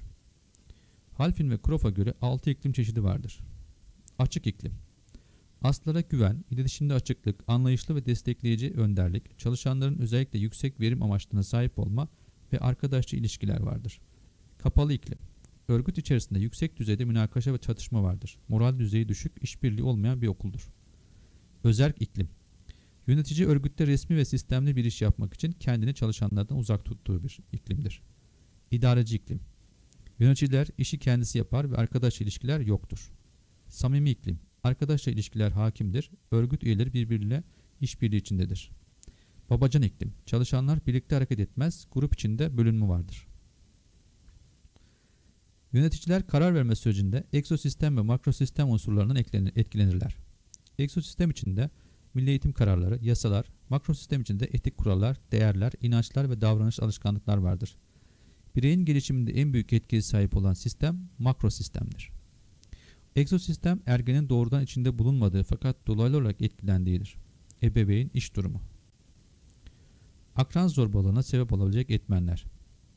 Mikrosistem kapsamında ilgi, sevgi ve sıcaklıktan yoksun bir aile ortamı, cezalandırıcı, tartışmacı, kötüleyici ebeveyn tavrı, fiziksel ve duygusal istismar uygulayan ebeveynler, oyun alanlarının yetersiz oluşu, öğretmen ve yöneticilerin zorbalığı görmezden gelmesi, kalabalık okul ve sınıf ortamı, okul yönetimi tarafından fiziksel cezaların uygulanması, okuldaki akranların saldırgan davranışları. Mezosistem kapsamında okul ve aile arasındaki iletişimin yetersiz olması, ailenin onaylamadığı arkadaş grupları, Egzosistem kapsamında iş yerinde olumsuzlukların çocuğa anne baba tarafından yansıtılması, akranlarının ailenin ebeveynlik stilleri, makrosistem kapsamında şiddetin toplumda kabul görmesi, televizyondaki şiddet içerikli programlar, mahallenin sosyoekonomik düzeyi. Milli Eğitim Bakanlığı uzman öğretmenlik sınavı hızlandırılmış kısa özetler. 8. bölüm Dijital yetkinlik. Yetkinlik yetkili olma durumudur. Yeterlilik ise bir işi yapmak için gerekli minimum bilgi ve becerilerdir. Öğretim planlanmasında yeterlilik. Bilgi seviyesini belirleme, ders içeriklerini oluşturma, müfredat oluşturma, öğretmen adaylarını yetiştirme ve mesleki gelişim programlarını oluşturmada yol göstericidir. Dijital yeterlilik Bilgi ve iletişim teknolojisinden kendinden emin, eleştirel ve yaratıcı kullanımıdır. Öğretmenlerin sınıf ortamında sahip olması gereken en yaygın yeterliklerdendir. Dijital okuryazarlık Bilişim teknolojilerinin toplum içinde bilinçli kullanılması için gerekli bilgi ve beceridir. Dijital beceri Günlük yaşamda bir sorunu çözmek için bilgi teknolojisini kullanma yeteneğidir. Dijitalleştirme Var olan içeriklerin dijital ortama aktarılmasıdır. Dijitalleşme Hizmetlerin çevre içi ortamlarda ve uzaktan gerçekleştirmesidir. Dijital dönüşüm, teknoloji adaptasyonu ile veri alışverişinin dijital ortama taşınmasıdır. E-Devlet en öne çıkan servistir. Dijital vatandaşlık, dijital dünyada görev yapmak için sorumlu olunan dijital alışkanlıklardır. Bilişim etiği, bilgisayar, iletişim ve internet ortamlarında uyulması gereken kurallardır. Telif hakkı, kişinin her türlü fikri emeğiyle meydana getirdiği ürünler üzerinde hukuken sağlanan haklardır. Bu sayede yaratıcı eserler ortaya çıkmasını sağlamak ve teşvik etmek edilir. Bilişim suçu, kanunsuz, ahlaksız ve yetki dışı gerçekleştirilen her türlü davranıştır. 2023 Sanayi ve Teknoloji Stratejisi 4. Sanayi Devrimi olarak adlandırılır. Sanayi ve Teknoloji Bakanlığı tarafından hazırlanmıştır. 5 tane bileşeni vardır. Yüksek teknoloji ve inovasyon, dijital dönüşüm ve sanayi hamlesi, girişimcilik, beşeri sermaye ve altyapı. Sanayi devriminin süreçleri. Birinci sanayi devrimi. Buhar gücüyle üretim teknolojisi. İkinci sanayi devrimi. içten yanmalı motor ve elektrikli üretim. Üçüncü sanayi devrimi. Bilişim teknolojiyle verimli üretim. Dördüncü sanayi devrimi. Endüstri 4.0 ise otonom sistemler ve üretim. Freud'in 21. yüzyıl beceriler listesi. Eleştirel düşünme. Bilgiyi bilimsel yöntemle doğrulama. Problem çözme. Problem çözme sürecini içselleştirerek kullanma. Takım çalışması farklı yetenek ve görüşlere sahip insanların bir amaç için işbirliği yapmasıdır. Teknoloji okuryazarlığı, bilişim teknolojilerine yeterli ustalıkta kullanmadır. Sürekli öğrenme ve gelişim, sürekli yeni bilgiler öğrenmedir. Yenilikçilik, kaliteyi artırmak için yeni çözümler üretmedir. Gartner'ın gelecek için 5 zihin arasındaki değerler. Alan bilgisinde zihin. Herhangi bir mesleğe sadece ait olduğu alanın bilgisiyle icra etmek zordur. Çok yönlü olmak gerekir. Sentezleyen zihin. Meslek alanındaki problemi çözmek için farklı disiplinlerden bilgiler sentezleyerek çözümler üretmesidir. Yaratıcı zihin, mesleki alandaki problemlere çözümler bulup diğer meslektaşlarına kolaylıklar sağlamasıdır. Saygı duyan zihin, farklı dünya görüşünde olan insanlarla çalışmadır. Etik zihin, bireylerin görevlerini yerine getirirken etik kurallara uyarak etkileşimde bulunduğu insanlara örnek olmasıdır. UNESCO tarafından öğretmen yeterliliklerini geliştirmek için değerler. Temel mesleki bilgilerde yetkin olma, kapsayıcı eğitim kültürünü yaygınlaştırma, insani becerileri kazandırma, öğrenme toplumu ve öğrenen organizasyon olma. Teknolojik pedagojik alan bilgisi çerçevesi ve bileşenleri. Alan bilgisi. Öğrenilecek ve öğretilecek konu hakkında bilgi sahibi olma. Pedagoji bilgisi. Öğretmenlerin süreç hakkında bilgisidir. Teknoloji bilgisi. Teknolojileri, donanım ve yazılım araçlarını kullanma bilgisi. Pedagojik alan bilgisi. Belirli bir içeriği öğretmek için uygulanan bilgisi, uygulama bilgisidir. Teknolojik alan bilgisi. Teknolojinin ve içeriğin birbirine etkileme anlayışıdır. Teknolojik pedagojik bilgisi. Belirli teknolojileri belirli şekillerde kullandığında öğrenme ve öğretmenin nasıl gelişebileceğini anlayışıdır. Eğitimcilerin dijital yetenekleri için Avrupa çerçevesi. 1. Mesleki kullanım alanında. Kurumsal iletişim. Kurumla ilgili taraflarla iletişimde dijital teknolojini kullanabilir, yet, kullanabilme yeterlidir. Mesleki işbirliği, dijital işbirliğiyle tecrübe paylaşımıdır. Yansıtıcı çalışma, dijital teknolojiyi kullanırken öğretmenin kendine geri bildirim verebilmesidir. Dijital sürekli mesleki gelişim, mesleki gelişim için dijital kaynakları kullanabilme yeterlidir. 2. Öğretim ve öğrenim. Öğretim, dijital araçları ve kaynakların kullanılmasını planlama uygulama, rehberlik yapma, dijital teknolojiler ve öğrenme etkinlikleriyle ilgili olarak destek sağlama, işbirliğine dayalı öğrenme, dijital teknolojileri kullanarak işbirliğine dayalı çalışmalar yapmasını planlama, kendi kendine öğrenme. Öğretmen dijital teknoloji kullanarak öğrencilerine kendi hızlarında öğrenmeleri için imkan oluşturarak gelişmeleri takip eder. Ölçme. Erişilebilirlik ve kapsayıcılık. Dijital öğrenme ve öğretme kaynaklarına tüm öğrencilerin erişmesini sağlama. Kişiselleştirme. Öğrencilerin farklı ihtiyaçlarına göre program bireyselleştirme. Aktif katılım. Öğrencilerin aktif katılım için dijital kaynakları kullanma. 4. Öğrencilerin dijital yetkinliklerini gerçekleştirme. Bilgi ve medya okuryazarlığı. Dijital ortamın kullanımını planlama. Dijital iletişim ve işbirliği. Dijital araçları amacına uygun kullanma. Dijital içerik oluşturma. Dijital ortamda ürün ortaya çıkarabilmek. Sorumlu kullanma. Dijital teknolojileri kullanırken sorumlu davranma ve tedbirler alma. Dijital problem çözme. Dijital araçlarla ilgili teknik problemleri tanıma, çözme ve yeni karşılaşılan problemleri çözmeye yönelik öğrenme öğretme teknikleri, etkinlikleri planlama. Eğitim politikasında bilgi ve iletişim teknolojilerinin kavranması. Politika kavramı. Öğretmenlerden eğitimde bilgi ve iletişim teknolojilerinin kullanımını konu alan politikaları ve eğitim öğretim uygulamaları arasındaki ilişkileri görerek bunlar arasındaki bağ kurmaları beklenir. Politika uygulama. Sınıf içi öğretim uygulamalarının planlarken milli eğitim politikalarını ve öncelikli problemleri ele alacak şekilde uygular. Politika yeniliği. Okul seviyesindeki reform programlarının tasarlanması ve milli eğitim politikalarında öneri getirmesi beklenir. Müfredat ve değerlendirme. Temel bilgi. Bilgi ve iletişim teknolojilerinin kaynaklarını ve verimlilik araçlarını kullanmasının faydaları hakkında bilgi sahibidirler. Bilgi uygulama. Bilgi ve iletişim teknolojinin araçlarına ve platformlarına derslerin öğretim ve değerlendirme sürecinde uygulanmasıdır. Bilgi toplumu becerileri. Öğretim yöntemleri belirlenirken öğrenci merkezli, işbirliğine dayalı ve disiplinler arası müfredat dikkate alınır. Dijital yeterlilikler çerçeveleri. Öğretim hedefleri, müfredat, öğretim yöntemleri, öğrenme ortamları, ölçme ve değerlendirme, mesleki gelişim Mevcut ve yakın gelecekte göreceğimiz teknolojiler. Mobil ve bulut teknolojileri. Bireyin kullandığı dosyaların her yerden ve her cihazdan ulaşılabilir olmasıdır. Veri bilimi, insan ve nesnelerden toplanan verilerden anlam çıkarmadır. Yapay zeka, bilgisayarların veriler içinde örüntüler keşfederek yeni algoritmalar üretip işleri daha verimli yapması, ilgili alanlara, ilgi alanlarına göre reklamlar sunması gibi. Finans teknolojileri ve blok zinciri, kişiler veya kurumlar arasında bilgi, belge ve likiditenin güvenli şekilde transferi. Otonom araçlar ve taşıma sistemleri. Kendi kendine çalışan makinelerin sistemi. Nesnelerin interneti. Bulunduğu ortam hakkında veri aktarıp aktarıp ona göre işlem yapabilen sistemler. İleri imalat teknolojileri.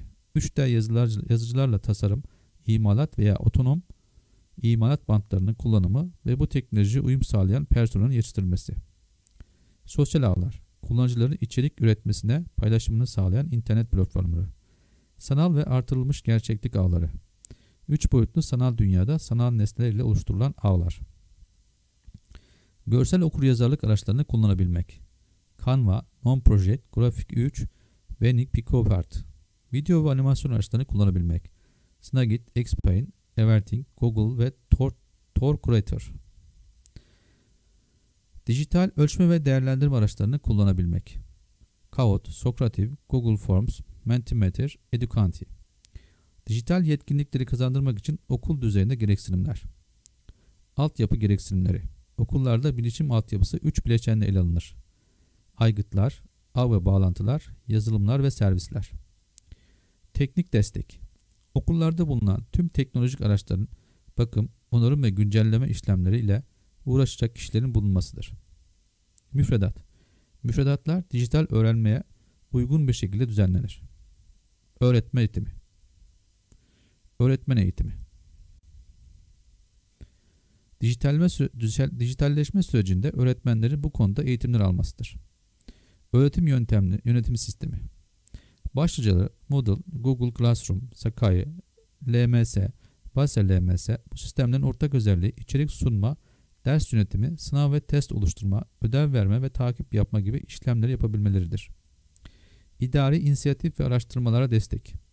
Okul idaresinin dijitalleşme sürecinde bu konuda çalışanlara yardımcı olması demektir. Milli Eğitim Bakanlığı Uzman Öğretmenlik Sınavı hızlandırılmış kısa özet. 9. bölüm Güvenli okul ve okul güvenliği. Maslow'un ihtiyaçlar hiyerarşisinde güvenlik ikinci sırada gelir. kendini gerçekleştirmek için güvenlikli bir yer olması gerekmektedir. Güvenli okulların özellikleri Etkili okul yöneticiliği ve liderlik, okul oluşturan mekanların kontrolü, güven hissi, saygı, samimiyet ve iletişimin ön planda yöneten, fiziksel zarar, gözdağı ve zorbalık olmaması, alay, nefret dili ve dışlamadan olmaması, çatışma riskinden uzak olma, akademik başarıya odaklanma, veliler ve toplumla iyi ilişkiler kuran ve ifade özgürlüğünü destekleyen, olumsuz davranışları görmezden gelmeyip empati kültürünü geliştiren, sığınmacı çocukların problemlerini yöneten. Zorbalık Yaşça büyük olan ya da fiziksel olarak güçlü olan çocukların kendinden küçük olan çocuklara ezmesi, rahatsız etmesidir. Zorbalığın ayırt edici özellikleri. Bilinçli ve istekli olarak zarar verme amacı güden söz ve eylemlerdir. Çeşitli zaman aralıkları tekrarlanır. Bireysel veya grupla, bireysel ya da gruba karşı yapılır. Zorbalığa maruz kalan kişinin fiziksel ve zihinsel olarak zayıf olması, zorbalığa sebep olan kişi kendine çıkar sağlaması, zorba kişilerin acı çekmesinden ve küçük düşmesinden zevk alması, zorbalık davranışlarına müdahale edilmelidir. Siber zorbalık Mobil telefon ve internet aracıyla yapılan zorbalıktır. Siber zorbalığa maruz kalan çocuklarda fiziksel ve psikolojik bazı sıkıntılar yaşanabilir. Siber zorbalığın önüne geçmek için grup rehberliği ve önleyici programlar yapılmalıdır. Bağımlılık ikiye ayrılır. Fiziksel bağımlılık maddenin varlığına karşı duyulan fizyolojik istektir. Ruhsal bağımlılık gereksinimleri tatmin etme amacıyla maddeye olan düşkünlüktür. Bağımlılık kavramının üç özelliği. Maddeye ulaşmak için engellenemez arzu ve istek, tolerans adı verilen kullanıma giderek artması ve yoksunluk yoksunluk madde bağımlısı kişiler için amatemden destek almalıdır. Yabancıların eğitimi ve eğitim güvenliği Yabancı uyruklu öğrencilerin okul uyum sağlamaları için önleyici hizmetler ile akran zorbalığının önüne geçilmelidir. Bunun yanında ailelerde etkinliklere katılarak güvenlik duyguları geliştirilmelidir. Sosyal uyum Bireyin ev sahibi toplumla ilişki kurmak için geçirdiği değişimdir. Yabancı öğrencileri uyum ve entegrasyonun engel olan sebepler 1. Dil sorunu 2. Sosyal bilgilerin eksikliği 3. Okulu terk etme 4. Okul güvenliği sorunu 5. Mesleki eğitim 6. Maddi yetersizlikler 7. Çocuk işçiliği 8. Kültürel ayrımcılık ve asimilasyon endişesi Hollanda 2000 yılında göçmen entegrasyonunu sorun olarak parlamentoda görüştü. 2021 yılında vatandaşlık yasası çıkarak uyum kursları zorunlu kılındı. Bu yasaya göre her göçmen ülkenin dilini öğrenecek, yerleşme hakkı alabilmesi için B1, devlet kurumunda iş sahibi olması için de B2 seviyesinde dil bilmesi gerekecektir. Hofstede'e göre beşeri sorunların çözülmesi, ön yargının kalkması ve empati oluşturmakla mümkündür. Yabancılar topluma entegre edilmezse gettolaşma kaçınılmaz olur. Getto Bir kentin herhangi bir azınlık kü kümesince kendiliğinden yerleşilen kesim. Örneğin Bursa, Çarşamba, Suriyelilerin yerleşim alanı gibi. Oyun bağımlılığı Bireyin günlük hayattaki görev ve sorumluluklarını aksatarak bireyin yaşam kalitesini olumsuz etkilemesidir. Dünya Sağlık Örgütü'ne göre oyun bağımlılığı hastalık olarak tanımlanmaktadır. Sanal oyunların duygu bozukluğu, uyarıcı madde kullanımı gibi etkileri vardır. Dünya Sağlık Örgütü'ne göre oyun bağımlılığının belirtileri. Oyun oynama isteğinin kontrol altına alınamaması, oyun oynamanın tüm aktivitelerin önüne geçmesi, dersleri aksatması, sosyal ilişkileri zayıflatması, tüm faaliyetlerden uzaklaştırılması. Amerika Psikolojik Derneği APA'ya göre 9 ölçütten en az 5'inin bir yıl içinde göstermesi gerekir. Oyun oynamanın her şeyden önce gelmesi, oyun oynamadığı zaman gergin ve asabi olması, oyuna daha fazla zaman ayırma eğilim içinde olması, önceden katıldığı sosyal aktivitelere katılmaması, akademik çalışmalara daha az zaman ayırması, kaygı ve suçluluk gibi olumsuz duygulardan kaçış olarak görmesi, oyun oynama sıklığını, zamanını ve süresini kontrol edememesi, sorunlar yaşamasına rağmen oyundan kopamaması. Oyun bağımlılığının aşamaları 1. Başlama isteği 2. ilginin artması 3. Düşüncelerinde oyunun öncelikli hale gelmesi 4. Oyun bağımlılığının oluşması Oyun bağımlılığının etkileri Ekonomik, sosyal, bedensel ve duygusal olarak olumsuz etkiler. Diğer bağımlılıklara sebep olur. Maddi ve manevi kayıplara sebep olur. Beslenme alışkanlıklarında değişme, yalnızlaşma, amaçsız yaşama, gerçeklerden kaçma, kaygı ve benzeri durumlara sebep olur. Oyun bağımlılığını önleyici tedbirler.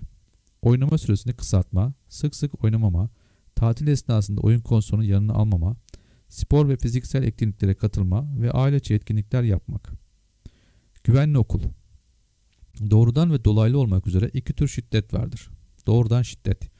Zarar verme amaçlı olarak kişiyle doğrudan karşı karşıya gelmektir. Dolaylı şiddet ise sosyal red, dışlama, dedikodu yapmak gibi şeylerdir. İşlevler açısından tepkisel şiddet, kışkırtmaya cevap niteliğinde şiddet göstermedir.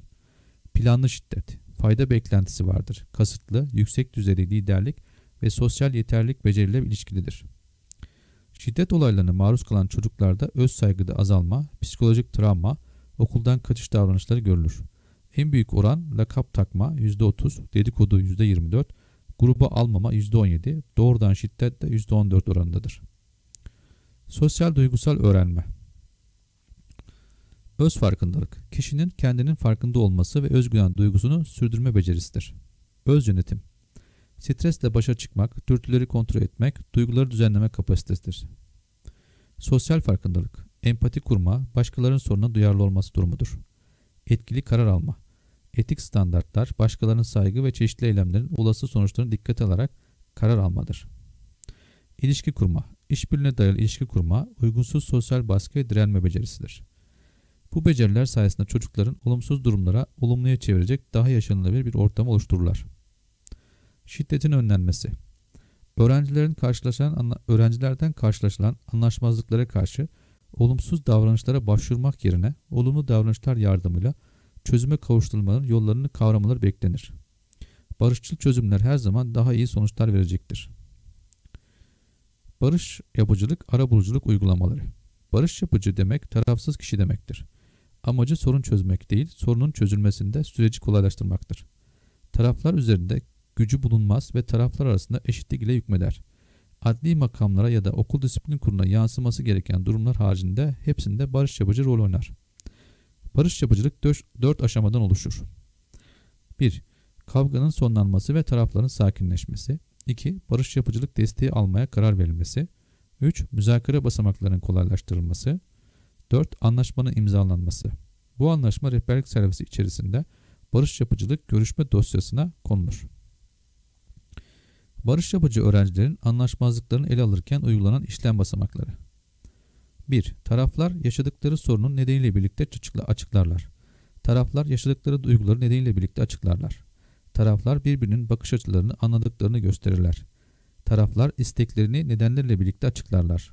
Taraflar çözüm seçeneklerini üretirler. Ürettikleri çözüm arasında en adil ve en barışçıl olanı seçerler. Zor kişilerle iletişim Aynı ortamda bulunulmak istenmeyen, sürekli problem çıkaran, zor iletişim kurulan insanlardır. Dinleme becerileri yoktur. Zor insan tanımına giren kişiler, giren kişilerin kategorileri. 3 grup insan vardır. 1. İnaktif. Aşırı uyum davranışı sergiler. Kendi görüş ve düşünceni ortaya koymaz. İtaat et, rahat et anlayışı hakimdir. Yatan mutlular olarak tanımlanırlar. 2. Reaktif. Her görüşe muhalif ederler, muhalefet ederler. Öneri ve karşı görüş bildirmez. Kurum için artı değer üretmezler. 3. Proaktif. En sağlıklı davranış ve sorun çözme yöntemi sahip kişilerdir. Hem sorgular hem de çözüm üretirler. Yapıcı, uzlaşmacı, amaca yöneliktirler. Sorunlar karşısında duruşuna göre 3 grup kişilik vardır. 1. Sağlıklı insan. Sorunların farkındadır ve çözüm için çaba harcar. 2. Normal insan. Sorunun farkındadır ama çözüm üretmez, kabullenir. 3. Sağlıksız insan. Sürekli bir bahane bulurlar. Mutsuzlar ve verimsizler insanın düşünce tarzları. Mutsuz ve verimsiz insanın düşünce tarzları. Geçmiş ve gelecekte yaşarlar. Mazeret üretme ve suçlu bulmakta ustadırlar. Sürekli negatiftirler. Milleti memnun etmek için kendilerini mutsuz olurlar. Zor kişilerle karşı yapılacak en iyi şey onlara bu konuda çok taviz vermeyip tartışma anında ortamdan uzaklaşmaktır. Zor kişilikler karşısında sergilenmesi gereken iletişim becerileri. Verilmesi gereken mesaj dolaysız, hemen, açık bir şekilde dürüstlükle ve karşıdakini incitmeden verilmelidir. Zor insanlarla iletişimi imkansız kılan ve durumu daha da ağırlaştıran tutumlar. Aynen karşılık vermek, problemi ele almak yerine savunmaya geçmek, söylenenlerin ne anlama geldiğini dikkate almamak, ürkme, şaşırma ve tepkisiz kalmak, o anda bir şey düşünememek. Zor kişilere karşı zor kişilerle araya mesafe koymada uygulanacak yöntemler. Kırık bilak. Aynı cümleyi sık sık tekrar etmektir. Konunun içeriğini bırakıp ilişkiyi tanımlamak. Zor kişiler aynı şeyleri tekrarlamaya başlayınca söylediklerini aldırmayıp yaptığına işaret etmektir. Ortam değişinceye kadar konuşmaya ara vermek. Karşıdaki kişinin her türlü davranışını aldırmadan konuşmaya ara vermektir. Kendinden emin erteleme. Zor kişiye karşı daha sakin ve soğukkanlı olunacağı bir zamanı ertelemedir. Sislendirme. Karşıdaki kişinin istek ve görüşlerini kendi cümlenizle kısaca özetlemek ve kendi düşündüğünüz şekilde tutum almak. Şu anda müsait değilim diyebilmek gibi. Belli başlı zor kişilere karşı takılması gereken tutumlar. 1. Saldırgan kişilikler. Bu tarz kişilere karşı kibar davranılmamalı, düşünceleri etkili ve kendinden emin şekilde söylemeliyiz. Tartışılmamalıdır. İsimleriyle hitap edilmelidir, göz teması kurulmalıdır. 2. Sürekli yakınanlar. Anlattığı şeylere dönütler vererek esas söylemesi gerekeni anlamaya çalışmak gerekir. Özgür ve açık uçlu sorularla sorunu çözmeye yönlendirebiliriz. Hala çözüm yoksa senin önün, önerin nedir denilmelidir. 3. Suskun tepkisizler. Açık uçlu sorular sorulabilir. Hiçbir şekilde cevap verilmiyorsa suskunluğu kendi yorumlarınızla doldurabiliriz. Ama hala sessizlikte ısrar ediyorlarsa görüşme kesilip ileri bir tarih için sözleşilebilmelidir. 4. Kötümserler. Uzak durmak en iyisi. Fakat benzer durumların nasıl başarılı bir şekilde aşıldığı anlatılır. Farklı şeyler deneme konusunda teklif sunulabilir. 5. Çok bilmişler. Dayılmaz bir mantık silsilesiyle sizi aptal yerine koyabilirler. Konuşmaya başlamadan önce kesinlikle plan yapılmalı, yarım yamalak bildikleri şeyleri olayın bütünüş gibi sunarlar. Evet sevgili öğretmen arkadaşlar, böylelikle bütün bölümlerin kısa özetini hızlı bir şekilde yapmaya çalıştım. Umarım faydalı olur. Tüm arkadaşlarıma başarılar diliyorum, kolaylıklar diliyorum. Teşekkür ederim.